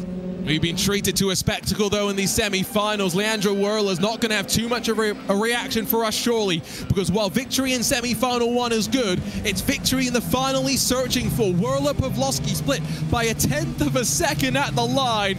Take a sip of water, take a breath as well. Leandro Werle, winner in the Mazda MX-5 Cup Golden Ticket Series on RaceRoom, powered by SuckerPunch. Get hydrated, you're going to need it. Remember Philip Drace had those uh, DTM cars in the background? Well, Leandro has the stock car Brazil in the background as well. Both of them racing inspiration. And now he can take the headphones off, breathe a little bit. He was looking a little bit shiny and sweaty there. Maybe get a towel, clean himself off. But lots of very... Oh, there it is. Just as I say that. Look at that. I called it right on cue. I mean, I must say, that looks like it's a, a, a, warm sim room. We'll grab a look at the results. Fastest lap ended up going to Pavlovsky, but only by about a tenth and a half. We're just kind of curious about that. It is the Visceral Esports driver, Leandro Werle, that wins by only a tenth of a half, and Kamil Pavlovsky put on a show for us. Enzo Filippo showed up strong in the closing stages. He'll be trying to close in that Virtual Drivers by TX3 machine. And then Barna, Shari, Markovic, Schoeniger, DeFries, Fornes, Chukwera, Mello, Okano. Those are the 12 that will do battle in the final again. 3.30 p.m. Eastern today. Behind them, unfortunately, for Vlana Costello, Bert Krippendorf, Orban Almeida, Brant Blanc, uh, De Palma, and one more driver. Unfortunately, 12 that we say goodbye to. And now, Joey, I kind of don't mind that we get about an hour and a bit here between the semifinals finishing and the finals because my heart rate can come down, my adrenaline can dissipate, and we can get ready to go for the 30 minutes of racing. A little bit of a break. Go get your breakfast or your lunch or your dinner. Maybe chug a couple of uh, a couple of pickle juices if you want. Have a pickle breakfast like I did last time and it'll be a, uh, a, great time. And also something I neglected to mention, today is March 17th. Today is St. Patrick's Day, so how fitting that the Irish driver, Compto Chukwura, would be so successful. So enjoy a free hour of your of your St. Patrick's Day, and uh, we'll get back going here in an hour and a half or so. Yeah, but he hasn't been able to really enjoy St. Patrick's Day because he had to be focused on the task at hand. Uh, if you just joining us and you missed some of the chat that we had during the semifinals, those are 20 minute races. This is a 30 minute race. How is the grid set? Well, we're not qualifying again. Joey, it's all back to the Prodigy zipper. It all is indeed. Just draw it down. Driver who won the uh, the first heat, Philip Drace. Driver who won the second heat, they'll be side by side, and whoever set the fastest lap between the two of them will start first. And then that goes for every single row, all the way down to row number 12. It is the Prodigy Zipper. Does it matter too much? I'm not sure because I know we're going to be looking at those top four all race long in those next 30 minutes. Those are going to be the big four to uh, to watch fighting. 30 minutes of racing, you might say, you know, there's 10 minutes more to put on the tires, but when in a car like this, I don't think that's really the limiting factor. Joey, the limiting factor is how much time you lose while fighting to bring those in behind you. So it may end up being a bit like a Formula E race in some ways, right? Like the, the, you settle in for the first 10 to 15 minutes, and then the final 10 minutes, that's when things really go haywire. And hopefully we don't lose our voice like poor Tom Brooks did this past weekend. I'll try my best. That is how it's kind of like it's it's it's cycling style racing. It's like the peloton, and then in the last couple of meters you push and you go for the win. But we didn't really see that in the semifinals. We saw that in the semifinals at Road America, but at Brands Hatch you saw 100% aggression. You saw the importance of track position. I wonder if maybe there was a little bit of learning from these semifinals that you don't maybe need to go that aggressive early on and you can still stay in the draft and it is a little bit easier to pass than we thought. But those are all things that all of these drivers are going to be thinking about for the next hour or so and getting ready to hopefully win a Prodigy Pass today. And if you're joining us thinking, oh, I'd like to join in on the fun, don't forget in just a few hours' time, round three and the final round of this. Uh, Golden Ticket MX5 Cup Series on RaceRoom powered by SuckerPunch will get underway from mid Ohio. So jump on to racingprodigy.com. Get your RaceRoom Game Pass for just $15, $14.99. It gets you into every RaceRoom Prodigy Racing League event for the next 12 months. A chance for you to be part of this Prodigy Racing League adventure. Don't think we're going to get the chance here to chat to any of the semi-finalists. I think they are very much focused on the next hour of rest and then the 30 minutes that lie ahead. Don't forget, Racing Prodigy YouTube channel, 3.30 p.m. Eastern. We'll be back here live for the final, handing out the Prodigy Pass and a golden ticket to the Atlanta Motorsports Park. For Joey Tebben alongside myself, Arjuna Kankipati, we'll see you then.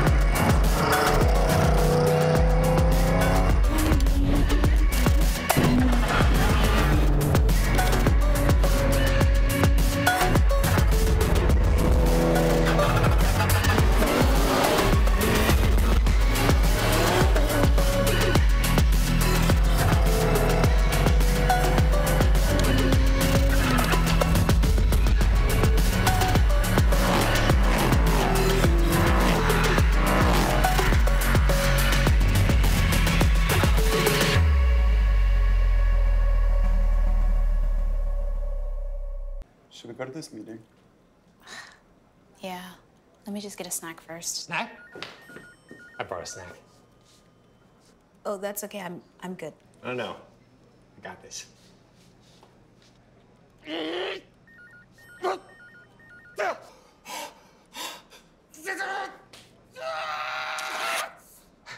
Told you I brought a snack. There's a better way to eat pickles on the go.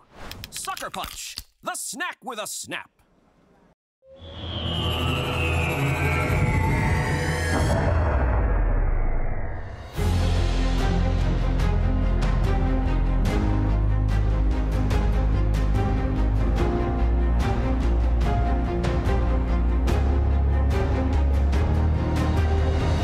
Look at the number of participants who had a shot at this, who wanted to be one of 12 of 60 something thousand, I mean, that's impressive in and of itself.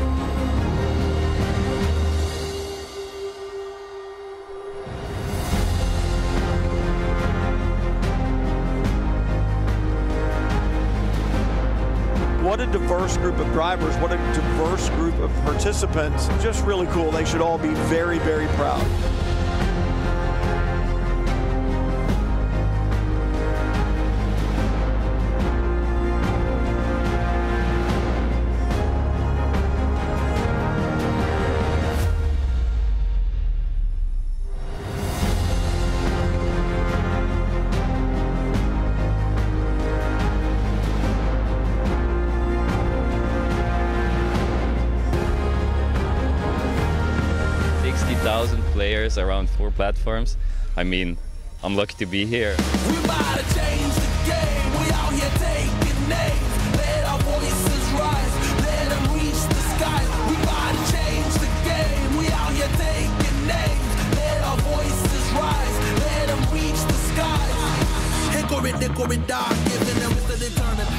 Change the storm, but focus on rainbow connections like Kermit. The water on my shoulders, it was a burden. Now I don't notice it, everything turning, everything shifting, doing it different. I'm floating, I'm drifting. Shout out the slums, round the world we uplifted, doing it big. We about to change the game. We out here taking names. Let our voices rise. Let them reach the skies. Every one of them deserves to be there, celebrating the fact that they were here and a part of this very first ever Prodigy Week for Racing Prodigy. And what a three days it was. And here we go. They're going to spray it. and let's see if they've learned how to spray the champagne.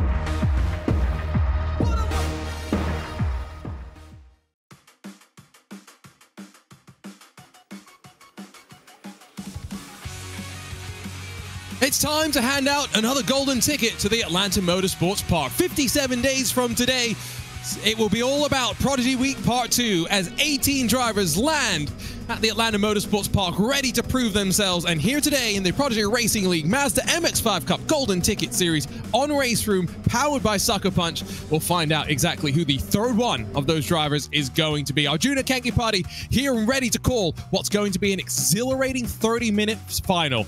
Brands Hatch, a track known for high average speeds in Mazda MX-5s and high tension in both of our semi-finals.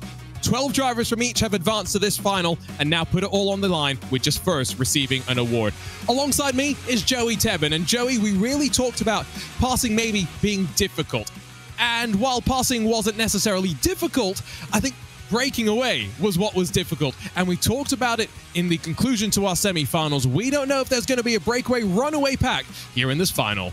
There's four drivers that come into this final as sort of the favorites. Michael Romanidis, Philip Drace, Leandro Werle, and Enzo Filippo. Those were the top two in each of the two semifinals. They did some incredible battling. There was fender rubbing. There was door banging. We're going to see a lot of that in the final as well. The question is going to be for every driver underneath those four. Are there any underdogs who can move their way through the field? Is there anybody who can master the start, move up a couple spots, and get into the pack to battle at the front?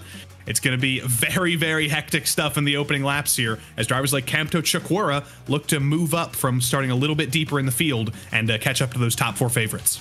And of course, we've got so many people to thank for making all of this possible. We had more than 60,000 participants in the build up to Prodigy Week Part 1, and our partners have helped us to build up to Prodigy Week Part 2. First off, we like to thank SuckerPunch, all natural pickle juice shooters for clean hydration, pickle chip pouches perfect for those long sim racing sessions or days at the track, and the Jarred Pickles with knockout flavor, the true champ of Chomp, now available in the US. Mazda Motorsports has partnered with Racing Prodigy to continue its mission of supporting race car drivers, enriching lives, and developing the next racing prodigies. Mazda is supporting participants by pro providing $2,500 in coaching vouchers for the Racing Prodigy Coaching Marketplace. Asetek wheelbases with their revolutionary quick release system allows you to quickly and easily switch wheels with just a click. SimLab P1X Pro Sim Racing cockpits with unparalleled rigidity, functionality, and design are your perfect sim racing base. And last but not least, owned and operated by passionate sim racers, Advanced Sim Racing is the fastest growing North American sim racing chassis manufacturer and equipment retailer. Thank you to all of them for supporting us, and of course, the top 25% in this series not just, of course, eligible to win these Prodigy passes, but eligible to win a SimLab P1X Pro Sim Racing cockpit, 25 $50 gift cards to the Racing Prodigy Coaching Marketplace, and three $100 Advanced Sim Racing gift cards, and three $50 Advanced Motorsports Coaching gift cards. Today, though, no points on the line in the overall series championship. Instead, Joey, just one driver going to walk away 30 minutes from now, heading to the Atlanta Motorsports Park. We saw all that emotion in the intro from all the Prodigy Pass winners of last season. Are we going to see that from anybody today? Michael Romanidis has been fighting so hard for so long to win one of these Prodigy Passes on Race Room and every other simulator. This could finally be the day he does it. This is his best chance yet. Quick rundown through the grid. I think we're almost ready to go. Philip Drace and Leandro Werle on the front row. Kamil Pawlowski and Nico Sono behind them. Enzo Filippo, Michael Romanidis, and then Turkka Hakkinen, Martin Barner, Jakub Brzezinski, Patrick Shari, and then Vil Cravey, Dennis Schoeniger. Those are the drivers inside of the front 12. Then Nathan Maximin, uh, Michal Nej, Sven de Vries, Ivan Fornes, David Nemchet, Camto Chukwera, Angelo Michel, Tiago Mello, Leonard Heidegger, Brandon Hawkins, Carlos Ocono, and Martin Havlana. 24 drivers locked onto the grid, and with the lights building, it's time to go racing in the final of round two of the Prodigy Racing League Mazda MX-5 Cup Golden Ticket Series on RaceRoom, powered by SuckerPunch. Away we go, and it's pretty even at the front as we get ready to dive down through Paddock Hill Bend. It is going to be a tiny run, though, for Drace from Werle, Pawlowski, and then Sonal. Romanidis sits in fifth. A single file, almost 24 machines rise towards Druids. Looks very familiar to the semifinals. Single file for the opening corners, but it will get crazy soon. Kamil Pawlowski, who finished second in his semifinal, got third ahead of Nico Sono. The Prodigy Zipper organized them in that fashion. You see a little bit further back, though, Jakub Brzezinski. He was so aggressive in his semifinal. He's already getting aggressive on lap one, trying to hold off Martin Barna into Surtees. We kind of wondered if maybe the drivers that really showed speed in semifinals would, would be the main contenders, but as maybe expected, Draft's going to keep it relatively honest. Left side of the screen, you see the plus and the minus. minuses, not much movement as we work our way in towards Hawthorn Hill, out of Pilgrim's Drop for the very first time. 30 minute race, 10 minutes longer than we had in either of our semi-finals. Keep that in mind when it comes to balance and the tire conservation that drivers will keep in mind. This is, though, really the most fun section of the track, especially in machines like this. Down towards Dingle Dell and rising towards Sheene, where if you're brave, Joey, you can stick it into the breach. You're a little bit too brave, though. There is that grass waiting to bite. There's grass and gravel waiting to bite on the exit of Stirling's. It's a track that does have a little bit of margin for error. You can keep an MX-5 going through the grass, but if you're wide out through there, you are losing tons of time, and you can't afford to do that too many times. Side by side for P4, though, Romanidis is looking to move his way forward. He should have finished ahead of, uh, of Nico Soner if he didn't get into the back of uh, Philip Drace in his heat, so he knows he's probably a little bit faster and needs to make track position now. So half-hearted attempt as well for Leandro Werle to have to fend off the challenge from Pawlowski. Watch from behind as I think that is going to be Romanidis in the Sucker Punch car now defending from Turkka Hakkinen in the black Asetek Simsport car, lurking in the inside, but outside switches back to inside as down into Graham Hill Bend you will descend. Hakkinen feels brave though and you can run onto that AstroTurf to try and take advantage. All these 22 drivers or so at the front uh, running cleanly. It looks like Carlos Ocono unfortunately has had an issue as almost three wide. We go through Surtees. And Romanidis got ahead of this just at the right opportunity. He was losing a ton of time, but he is not out of draft range, nor is Nico Sunnel. These guys are in danger, though. Enzo Filipao, he's up a couple of spots. I misspoke earlier and said he finished second in his heat. He actually finished third, so he's looking forward. Hakkinen and Brzezinski in very similarly painted cars kicking up dust. It's only three minutes into the race, and you're already seeing the level of aggression we're going to see for the next 27 minutes. We might actually be seeing a three-car train already starting to break away. Just keep your eyes on the fact that uh, Nico Sonal and Michael Romanidis now almost a full second off of the podium sitters in this final of the second round. And we mentioned it in the semifinals. Round three, the final round in this Mazda MX-5 Cup Golden Ticket Series, begins at Mid-Ohio in just a few hours' time. So head on over to racingprodigy.com. Get your RaceRoom game pass available for just $14.99, which enters you into every Prodigy Racing League event on RaceRoom for the next 12 months. And I must say, I hope that, Joey, we keep this Mazda MX-5 because it's great as Michael Romanidis up the inside and trying to work forward to those podium spots. And this is a big decision for Romanidis, and he made the right one. He got by Cernal into turn one without any difficulty whatsoever. It was a risk, because if he ran side by side with Cernal, that would entirely lose them the top three, and that would mean the Romanidis and Cernal would be fighting for fourth place at the absolute best. But he made the move when he had the opportunity, cleared him into turn one, and hopefully for him, it's not going to be a fight, and he can set his sights forward on those front three. He's out of draft range now. He only needs about half a tenth, though, to get back in there and uh, think about this win again. And, you know, we were talking in semi-finals whoa, as Martin Barner, three wide off the corner, and of course one driver going to end up in the grass. And now, fortunately, not too much momentum being lost, as Joey had kind of alluded to before. But now bumper drafts uh, being played and all sorts of shenanigans on the run in towards Hawthorns, who's going to get out of this on the other side cleanly. And remember, all of this dragging them away from those in front. Great fighting, but my heavens above, it's not what they wanted to see. And this might not be the fight for the win, but it is the fight for every single spot as you move forward as there's some extra rallycross. Nathan Maximin, I think going over the Maximin of the track limits, losing even more time and falling even deeper in this train. It's very easy to do that, to get into a bad rhythm, and that was a bad dive. I think that was Vil Cravey going around, and they pile in. It was indeed. Sven de Vries tangled up as well. A couple of drivers will just sail on through, and David Nemchek is now plus five from where he started. So some drivers have been taking advantage of this pack racing. Now on the exit of that final corner, they were definitely making contact, but were able to get through that one without too much drama. So I mean, great to watch. It's allowing those up front to just continue to break away. And going back to Romanidis, now that he's clear of Nico Sonal, hasn't really made inroads on the top three just yet. You can keep an eye on the, the leaders on the left side of your screen. He's still, Joey, a full second off of them. The old double feature. There's just so much to watch. You need to have both of your eyes. You need to have three eyes, potentially, to be able to see everything that's going on. Brandon Hawken on the right side of your screen. Kind of unfortunate to see him as deep as he is in the field. He's a very exciting driver, but he's getting excitable, I think, as he gets forced out of the way again. He may fall all the way to the back of this pack. And all he can do now is just fight for every spot he can get and at least try and maximize this finishing position as he thinks forward to the next event at Mid-Ohio.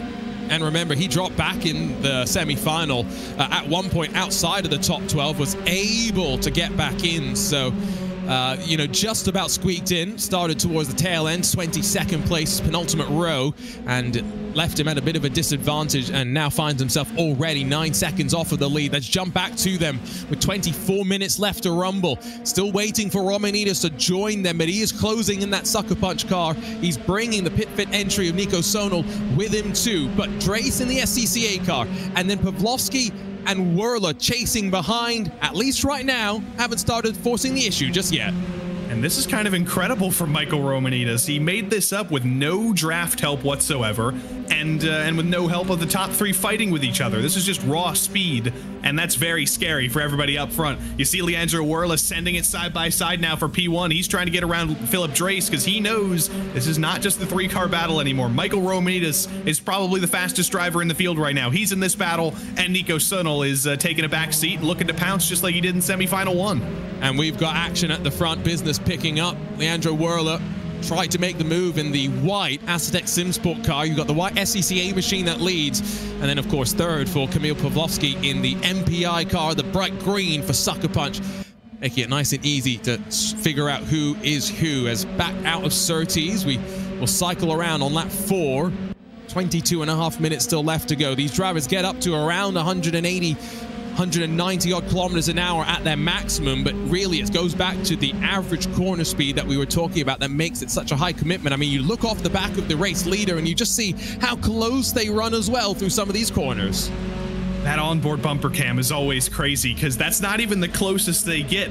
If there's a little bit of a bump to the rear end, you're going to see it and the camera's going to be totally blocked. And we've seen that so many times so far this afternoon. It is full contact sports car racing when you're in an MX5. If you want to push, if you need to push, you can definitely get away with it.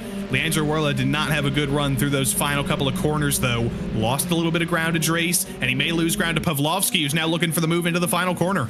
Yeah, but ooh, bit of contact on entry. I think eventually Pawlowski just realizes that Romanidis is there and he's got to block the momentum. Here comes the Coanda Esports driver in that bright green machine. Not going to get the run down into turn one, but now Nico Sonal has joined them as well. And not far off behind, Jakub Brzezinski, Turkka Hacken, and Enzo Filippo. Those are all drivers that have shown speed on occasion as well. Maybe not the consistency from these drivers up front from qualifying through to the race as well, but you can't count any of them out, especially knowing, of course, Nikodem uh, Wisniewski, the G2 Esports driver who won the very first Prodigy Pass in Prodigy uh, in the Prodigy Racing League Season 1 Part 2 will be cheering on his teammate Jakub Brzezinski and be hoping he can close that margin down. Never say never with 21 minutes left to go. Unfortunate news for fans of Sven de Vries. He's already our first DNF of the day, so unfortunate for him, but did a good job to make the semifinal. I have, or to make the final. I have a feeling we'll see him again at Mid Ohio next week, or in the coming weeks rather. Yvan Forness.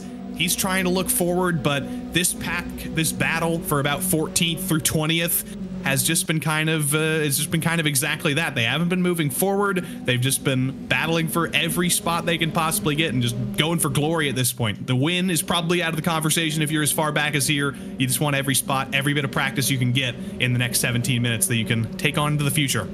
Yeah, these points don't end up counting for the season-long championship in the Prodigy Racing League Mazda MX-5 Cup Golden Ticket Series on RaceRoom powered by SuckerPunch. The winner of that across of the three rounds at Road America here at uh, Brands Hatch and then, of course, at Mid-Ohio in the build-up that uh, that points winner also gets a Prodigy Pass. Uh, and then, of course, uh, the top 25 in season points are eligible to submit a video to the Prodigy Search Selection Committee, and we will select two more drivers, six in total from RaceRoom, to go and represent at Prodigy Week. And oh, there's a look to the outside. Leandro Werle got a great run out of the opening corner. Door-to-door -door contact. He's bullied wide off the apex. Can Pawlowski take advantage on the run down the hill? Don't think about it, but unfortunately, the door is just not open again.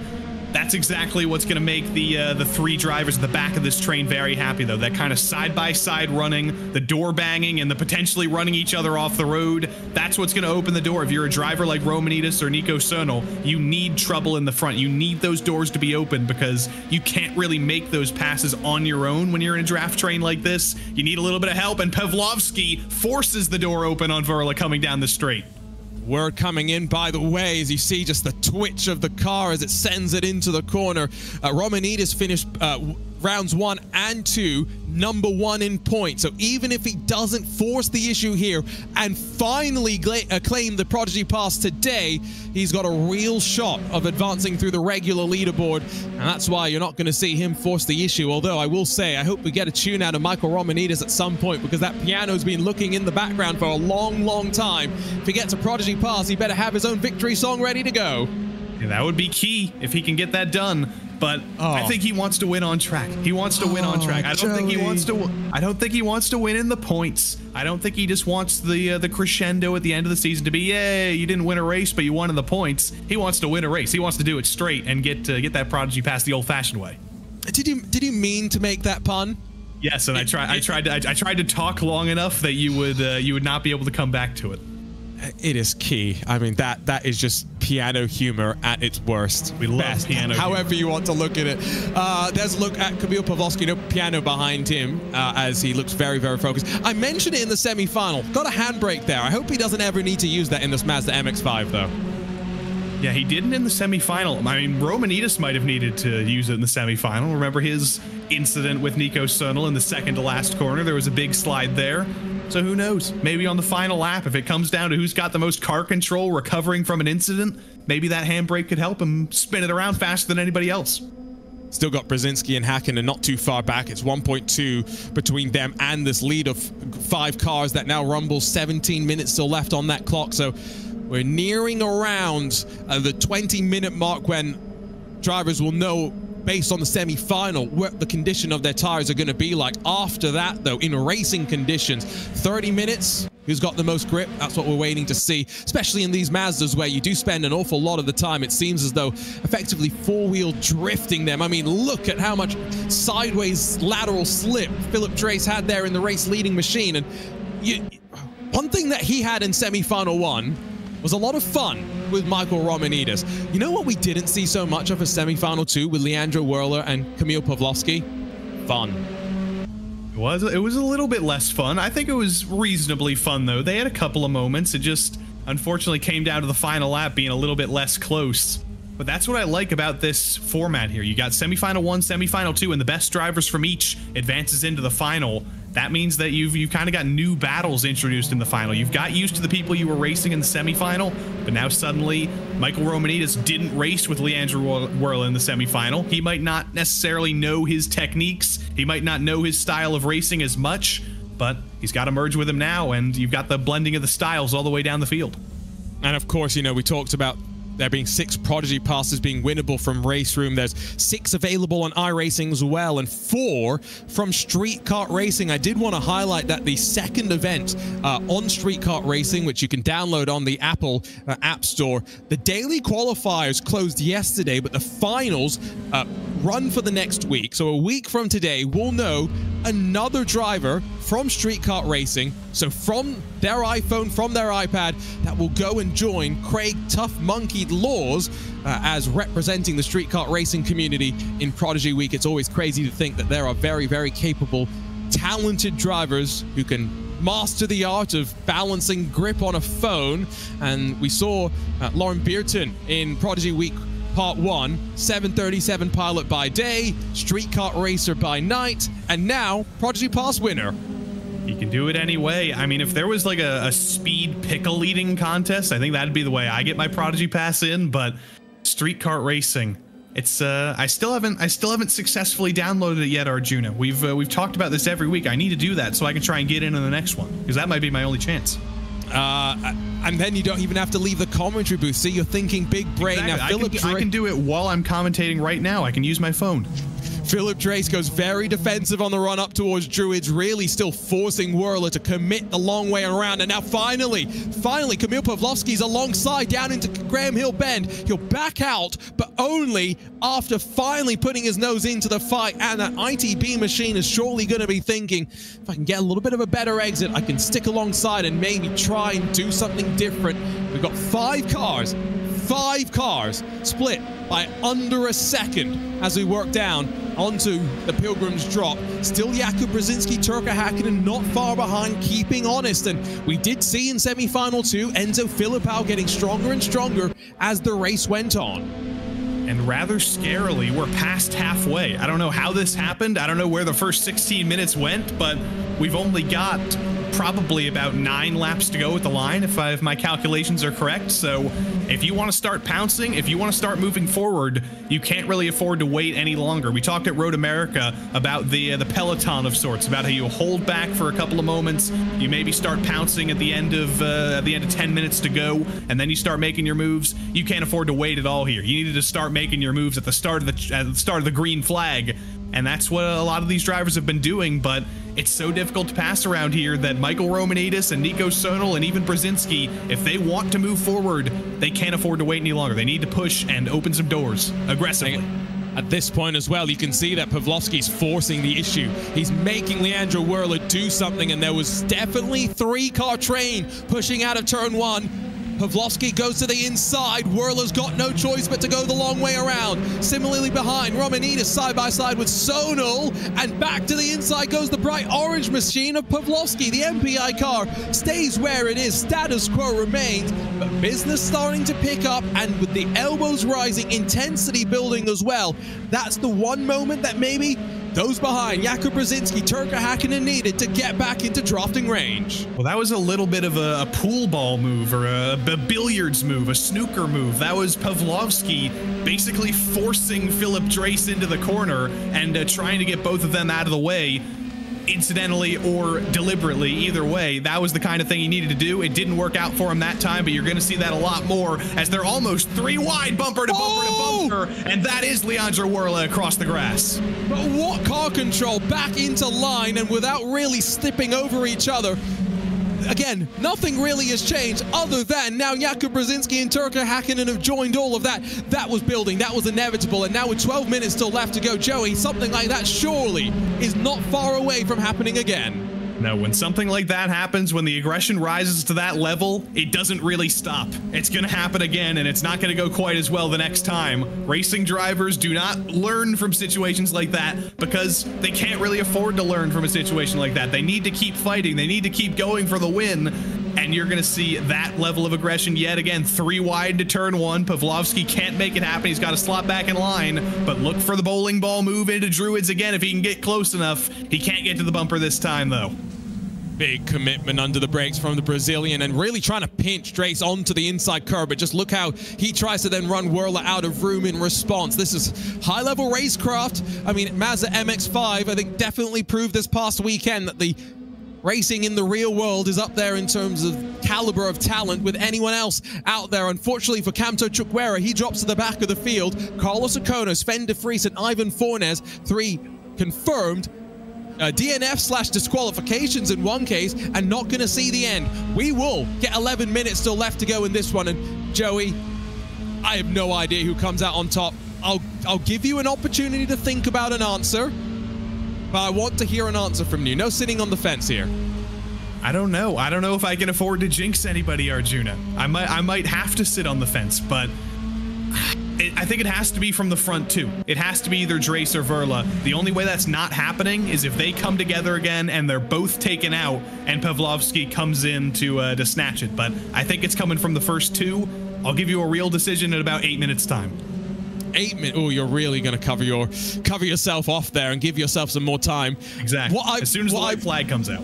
What I will say is I, I, remember talking with Moritz Lohner, who's competed in many a RaceRoom esports competition before and actually won a, a season in DTM Trophy through RaceRoom. And what he said was RaceRoom's online contact model is amongst the best that there is. It allows you to do things you may not dare on other platforms. We're bumper to bumper and all over each other out of turn one. Three wide for the lead, and there'll be three wide behind as well. Where does Philip Drace go? Not to the lead because Kamil Pawlowski's ripped it away from him. Michael Romanidis second. Werle now suddenly down to fifth position. And has there been drama? Philip Drace was instantly sent back to pit lane.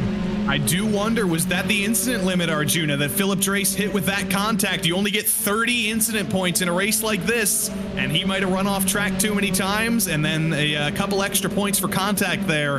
They have just ended the day for Philip Drace. And he had led for a solid 20 minutes. One moment with car contact changes the picture, and suddenly Suddenly things have changed around. Michael Romanidis in the hot seat. Turkka Hakkinen still representing NeedRacing.com while Philip Drace unfortunately has his issues.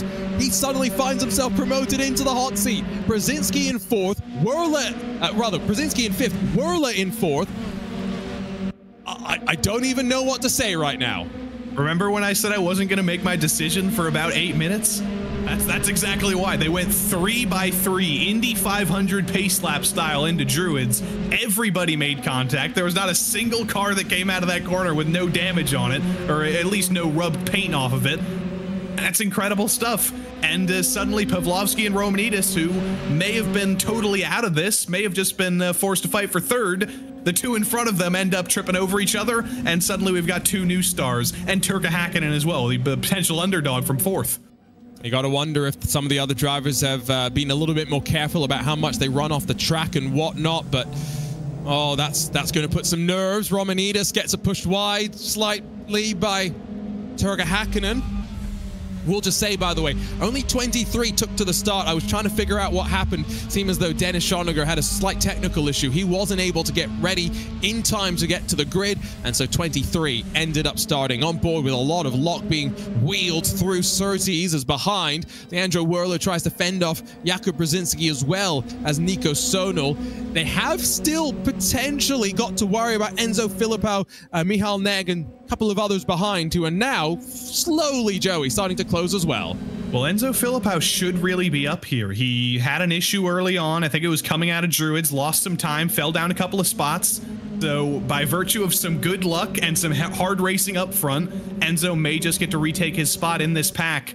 He's going to be in with a very difficult job, though. Being seventh in line here, it's not the worst place in the world if they go three wide into Druids again, two by two, but I don't know of the uh, high likelihood of that happening. There is still going to be hard racing up front, but you're going to want to be in that lead pack, in those maybe top three spots if you're going to want to win this race, because as they cross the line this time, I think it's going to be five laps to go only. I'm not going to stick my nose in with the math there. I'm going to trust you since we're around a similar sort of clock range to where we were the last time I asked that question. Now, Jakub Brzezinski's onboard shows him very, very focused. Uh, we were taking a look at what some of the drivers are doing in between uh, their respective semi-finals and the final. Brzezinski just sat in his rig, was on YouTube, very, very relaxed. He's feeling a little bit more stressed right now as Sonal's pit fit entry tries to get up the inside, but Brzezinski's not going to have that. He might still have an overlap down the hill in towards turn three. Gives it a good go and to lean on each other very slightly. Brzezinski holds a little bit of room for Nico Sonal to then come back and squeeze him back. And more great side-to-side -side racing with six minutes to go. But all of this happening as at the front of the field, Pawlowski and now Hakkinen starting to try and build a gap to those behind. Yeah, this is worrying for Brzezinski and Sonal. It's a little bit too late to be fighting like this, I think. You can see the gap's already expanded to one and a half seconds, and as they run side by side through the 90-degree corner at Hawthorns, they're just losing and losing and losing even more time. Sonal's forced off the road. He's going to slot back in line ahead of Filipao, but now it's a three-car battle for fourth, and it's not going to be a battle for the win anymore for these guys. Now, you would think unless something else was to happen up front in the next five minutes, Filipao will get past Nico Sonal on the rise up in towards the Sheene curve. And now just Stirling's back towards Clark and to the line to make it five minutes left. So, Emil Pawlowski leads by around three tenths of a second from Turkka Hakkinen, Michael Romanidis, and then Leandro Werle, who sat for so long in second, now demoted down to fourth and trying to scheme his way, architect his way back to the front. Five minutes left do believe that we are going to officially have those four laps left to run. I, I, do you feel like you can pick a winner now, Joey? We're down to four. No, no.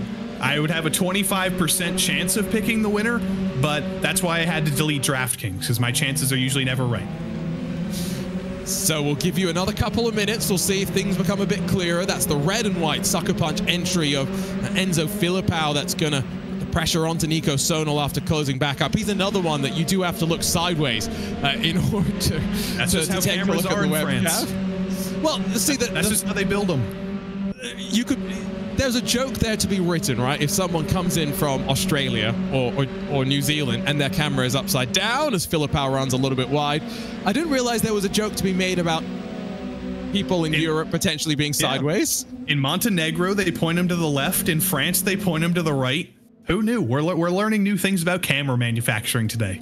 It's a good point. They were actually both in different directions, weren't they? Yeah. I don't that even know memory. how that spot. They must be on a phone or something. They must be those uh, those new French phones. We have 10 different countries represented in the top 10 right now as it stands. Remember, nine countries represented in the 12 drivers that made up the Prodigy Week Part uh, Prodigy Week Part 1 driver crew.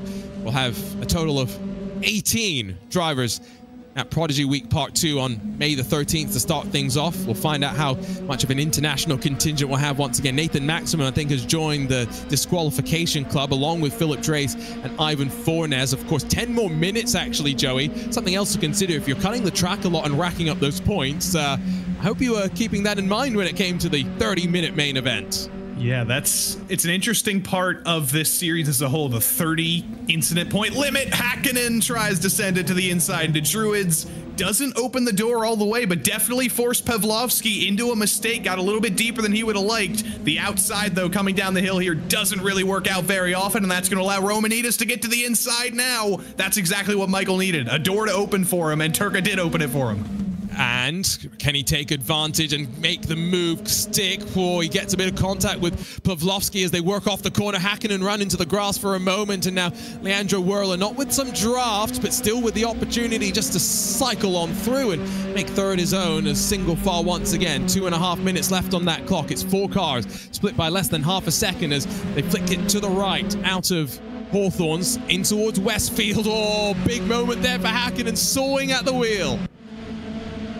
He's feeling a little bit hot right now, I'm sure. Was in the fight for the win, was in one of the best places potentially in second, and now he's all the way at the back of this train with all of that work to do ahead of him. It's not over though. Romanidis and Pawlowski, they both had their chances to get aggressive in the semifinals. When you put two aggressive drivers together, maybe even three with Leandro Werle behind, I don't know. There's a high likelihood that as I think we're going to take the white flag this time, we have not seen the last bits of contact in this race. Watch it tick down. Average lap times around 139. So, will it be the white flag? Will we be destined to see two more? It's very be close. It could be two. I mean, every race we've had today, it's been close. Now, do these drivers feel confident? Does Michael Romanidis think he's got to go for it up towards Druids? Pawlowski doesn't give him the choice. Rising up in towards the corner, onto the brakes. Really out there for Romanidis. He gets the rear end stepping out of him. Behind, Hakkinen gets past Leandro Werle. This very may very well be the final lap of the race. Romanidis sent a massive throw into the into Druids to try and get around the outside of Pawlowski, but it was a little bit too aggressive, got a little bit too late in the brakes, and and lost quite a bit of time there. He needs to focus in the rest of this middle sector, getting closer to Pawlowski. Use this long straight to get as close as humanly possible. Hope he can get a good run through Hawthorne, through Westfield, and through Sheene, because you're only going to get a couple more chances through those final two corners if this is the last lap indeed. Remember, Romanidis P1 in points in both rounds one and two in this Prodigy Racing League. Uh, Mazda Golden Ticket MX5 Cup Series on RaceRoom powered by SuckerPunch. He's not going to go for it this time. He's not close enough. I get the sense one more, Joey. I think we're going to get one more in the books. I think the drivers might know. I'm not totally sure, but they might get told if it's the white flag by a virtual crew chief or by the sim. But I don't know. I don't know. I don't know what the drivers are seeing right now. We'll find out based on the reaction potentially from Kamil Pawlowski out of the final corner. Is he going to be celebrating? Does he still have one more lap to hold on? The clock's ticking down. It's going to strike zero right around the time these drivers see the line. And one more lap we'll have here in the final of the Prodigy Or Racing not. League Mazda. Oh, it's the final! Kamil Pawlowski, the reaction! He's going to the Atlanta Motorsports Park, the winner in the Prodigy Racing League Mazda MX5 Cup Golden Ticket Series on RaceRoom, powered by SuckerPunch. He's only finally just realized, Joey, what this means to him. I think he realized just as we did, it wasn't just a race against the drivers, it was a race against the clock as well. But the clock said, Kamil, it's over. You get the checkered flag, and you get to take that win. The second Polish driver and the second G2 esports driver to win in the last two events. 97 thousandths of a second. That was the margin that differentiated us between another lap and finishing this one after what was a dramatic end. Romanidis second, just short, but Boise staking a claim to be there in the future. And then Hakkinen, Werle, Brzezinski, Sono, Filipao, Nej, uh, Shari, and then Nemchek. The rest of your top 10. Leonard Heidegger, 11th for him after starting towards the back. A couple of drivers really having to work their way on through. What a final that was. Joey, I thought for a second we were going one more lap. I thought Kamil Pawlowski was going to have to deal with the pressure of one more lap, but you could see the relief being lifted, and the ITB driver is going to the Atlanta Motorsports Park, and I can't wait to catch up with him in just a few moments' time. Indeed, the ITB driver, not the G2 driver. That was uh, the other Polish driver, Jakub Brzezinski. So forgive me for that. But you could see the elation on his face. And we talked about in the semifinals that you don't see the drivers necessarily that excited for their race wins. That's because they know there's so much more to fight for in the finals. But once you've succeeded, once you get through 30 minutes of that level of aggressive racing, it's absolute elation. And I, I think he's going to be a very, very happy boy. And he's very excited to come to the Atlanta Motorsports Park. He's uh, been uh, jumping around of different platforms to then come and join us here on RaceRoom in this Golden Ticket Series. And we're joined now by our winner here in round two from Brands Hatch, Kamil Pawlowski. I mean, Kamil, we could see the relief for you as you came across the line, the celebration, the joy. Talk to us. What does it mean to be the winner of Prodigy Pass and heading to the Atlanta Motorsports Park? Thank you so much. I am so, so happy, especially that was my first ever race in RaceRoom. So I literally have zero experience in this game. I committed myself last two weeks so so much to understand the game, uh, maximize my pace. Uh, but this race, I knew that I could not be the the fastest in terms of the pace, so I needed to race strategically and very smartly. So I didn't want to pass the second driver and try to pass him. Uh, just wanted to uh, wait for their action, their battles, to you know make uh, make advantage of their battle. And this happened. I was in perfect position after corner one to corner two. Took the inside. Uh, it was the the very crucial and super important move to uh, to gain on P1. But then it was still 10 or 15 minutes until the end of the race. I needed to defend so so uh, so so much yeah, um, the relief after crossing the finish line, especially on the finish line, there was zero seconds left. So I was really afraid, like, well, afraid. I was curious if it will be next lap or we are finishing on this lap. And I saw uh, Michael uh, Romanidis just right on back on me on this last lap. And the relief, the, the relief of emotion when it was zero was just Oh my god, I'm so happy, so happy, and really proud of myself con- considering really lack of experience in this uh, sim you, you mentioned the lack of experience, but you've experienced a lot in the world of sim racing, right? Uh, world's fastest gamer a, a, few years ago. You were Ferrari esports champion back in 2021. Racing Prodigy is preparing for the Prodigy draft, where Prodigy Week drivers may get the opportunity to be selected as a real world Prodigy Racing League driver and sign a paid professional racing contract. What would that mean to you? You talk about, you know, the emotions of just getting to here and getting the win. What does that next step look like for you?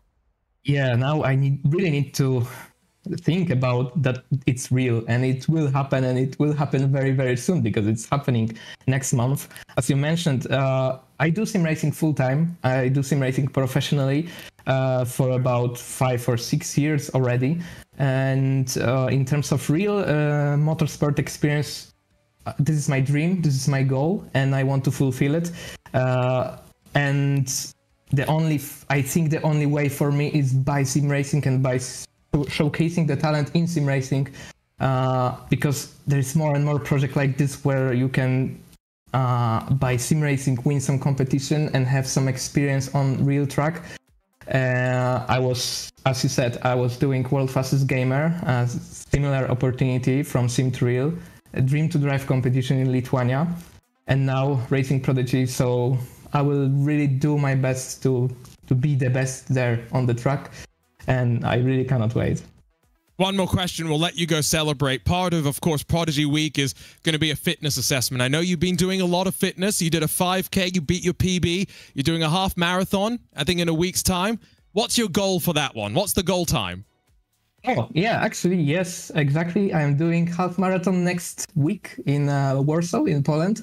Uh, goal is to yeah. I was I I do running for about five years already, but I switched to like more serious running for about one year or half a year, and I was preparing very very much for a half marathon, and I'm aiming to beat one hour thirty minutes. So well, fingers crossed for for me, especially that's my debut, and the pace is very high, but I cannot wait. Fitness is my uh, everyday thing. I uh, I do running, I do gym uh, sessions. So so yeah. Uh, well, you can come and join me for a run around the Atlanta Motorsports Park during Prodigy Week, just as long as you don't expect me to run that fast. Congratulations, Kamil Pawlowski. You're going to the Atlanta Motorsports Park on May the 13th. Thank you very much. We'll head down from Kamil Pawlowski to second place. Michael Romanidis standing by with Joey Tebben. Indeed, we will. Michael Romanidis Unfortunately, yet again, talking to you as a second place finisher, but it came down to that final lap. It came down to potentially the difference between a checkered flag and a white flag. What more did you need in those final laps to take this win? Uh, not a lot, to be honest. Uh, maybe just one more chance uh, in the last lap. I think we finished with 30 minutes and one tenth. So if the last lap was like uh, two tenths quicker, we would have had one more lap um, which I was counting on. I was kind of looking at the lap time at the last lap and seeing correlating it with the time remaining, and I couldn't tell uh, because it was so close. But yeah, in the end, just as we went across the line, we saw the final lap, and uh, yeah, I keep getting quite close. Um, every time a little bit closer. This time just one tenth, but uh, yeah, as far as I understand the the format, there is a quite a decent advantage from the from the leaderboards. Uh, so that's what I'll be aiming at uh, for week three. But of course, it would have been quite nice to lock it in an actual uh, race. Coming into the next event, Mid Ohio, the final of the uh, the RaceRoom events planned. I assume we're going to see you there leading that championship. How much more confidence are you going to take into that, knowing that you've been so competitive in these last two, and you know you can fight for the win? Yeah, I'll definitely be trying quite a lot, especially on the leaderboard, just trying to to maximize that and then basically see how that goes. Um, and uh, yeah, probably I'll be taking. Hopefully, I can qualify, and uh, hopefully I'll be taking part uh, in that race as well. It's a track which I don't think I've ever done a race at. Um, barely know where the track goes, to be honest. Uh, so yeah, we'll we'll have a look at that and uh, yeah, see. But uh, of course, with these cars, the races are quite fun uh, at least. Um, but yeah, they're quite they're quite tricky to to manage as a driver. You have so many so many different drivers. I think there was a seven car train today, just fighting for the win um, because of how the slipstream is. But um, yeah, it was quite entertaining, hopefully, and um, yeah, eyes on the on the next race. Was entertaining indeed, Michael. We'll see you in a couple of weeks' time. Hopefully, we'll have you playing that piano after your next win. Thank you. Michael Romanidis coming home second today, Arjuna, but it looks like we've got third place Turkka Hakkinen as well.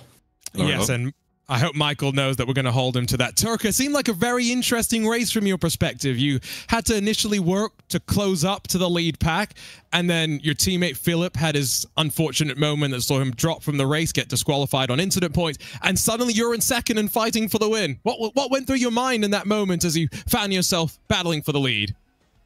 I mean, when you are in P7 and the whole queue is doing the same speed as you, you are kind of just waiting for an opening. And when I saw that uh, squabble into turn one and two, I knew it was my moment. So I just went for it, took my usual line, and found myself in P3. And from there, you can actually do a lot more since it's not just a slipstream train, and you can actually make a difference with your racecraft. And so we just asked Michael a little bit about going over to Mid Ohio, the type of racing that we're going to see there. Comparing Road America to this, very different sort of a track. Do you think Mid Ohio is going to be a bit more similar to this, and that we might see a little bit of plenty of two wide and three wide action? It's it's going to be closer to this. I think Mid Ohio suits this car the best. It's going to be amazing racing, so you don't want to miss that for sure. How confident are you feeling? Uh, well, I have a great teammate who's good enough to help me. So let's see what we can do together. And I think Mid Ohio is a good track for me. So let's see if we can at least get one car through to the golden ticket. Well, best of luck, Turkka. It was a very interesting day today and can't wait to see you both hopefully back out at Mid Ohio. Thank you. Always great to be able to catch up to three drivers, all with cameras to look at as well, and to be able to see their faces, to see the emotion. And the emotion from Kamil Pawlowski, again, just to reiterate, if that final lap of that final had been 97 thousandths shorter, we probably would have seen another lap. That was the margin that Michael Romanidis thinks he might have needed, Joey, to go for the win. It was good to hear from Michael, though, in that interview that he's not feeling too bad about coming home short so many times. He is in the lead of the season long standings by a good margin. And if he's as consistent as he's been at Mid Ohio in the next event, he'll probably get the Prodigy Pass that way. But I know he wants to win a race finally. He's had so many chances, he's been so close, and I want to hear him play the piano, gosh darn it. Yes. And, you know, I guess there's two ways of looking at it, right? You could be very happy with for example, being Nikodem Wisniewski, you you won your Prodigy Pass in the first event, and you've been watching on from the sidelines. You haven't really had to be continuing to fight. In Romanidis' case, he's continuing to be consistently at the top, and you know that maybe will give him a bit of confidence going into the final round. Again, at Mid Ohio, you can get your Racing Prodigy membership. The RaceRoom Game Pass is available for $14.99, gets you in to all RaceRoom Prodigy Racing League events for the next 12 months. And let's not forget, top 25% will all now be thinking that, okay, we've got one more chance at Mid Ohio to win a golden ticket. Maybe Michael Romanidis has already got one hand on the other ticket for the overall championship. Some of these people now are going to be putting together their resumes to be sending over to the search selection committee. Yeah, it's not just the driving on track that can get you a Prodigy Pass. The search selection committee is big part of it, and uh, that's plenty of drivers who have maybe shown themselves very, very well in the midfield or at the top of the field, maybe didn't come away with the win. Jakub Brzezinski, I'll give him as an example today, drove from somewhat further back in the field in his semifinal all the way to finishing in the top five in the final. That's one of those performances that maybe isn't rewarded with a trophy, but it might be rewarded with a selection by the Prodigy Search Committee. And we're only 57 days away from May the 13th, from kicking things off for Prodigy Week Part 2 at the Atlanta Motorsports Park. And now we know the third driver that's won their Prodigy Pass from Season 1 Part 2. Oi, can't wait for it. And of course, don't forget, thank you to Sucker Punch, to Asetek, to Grid, SimLab, uh, Advanced Motorsport, and so many others behind the scenes for making this all possible. Don't forget to follow us on the Racing Prodigy YouTube channel as well as on social media. YouTube's is where YouTube is where all the search selection committees will be. Social media is where you can follow all the latest news, including, of course, that Julian Klaffenbach will be joining the winners from season one, part two at Prodigy Week Part 2. For the team behind the scenes, for Joey Tebben alongside myself, Arjuna Kankipati, thank you so much for joining us. Just a couple more events to go before we're at Atlanta to do it all again. Can't wait for that. So long for now.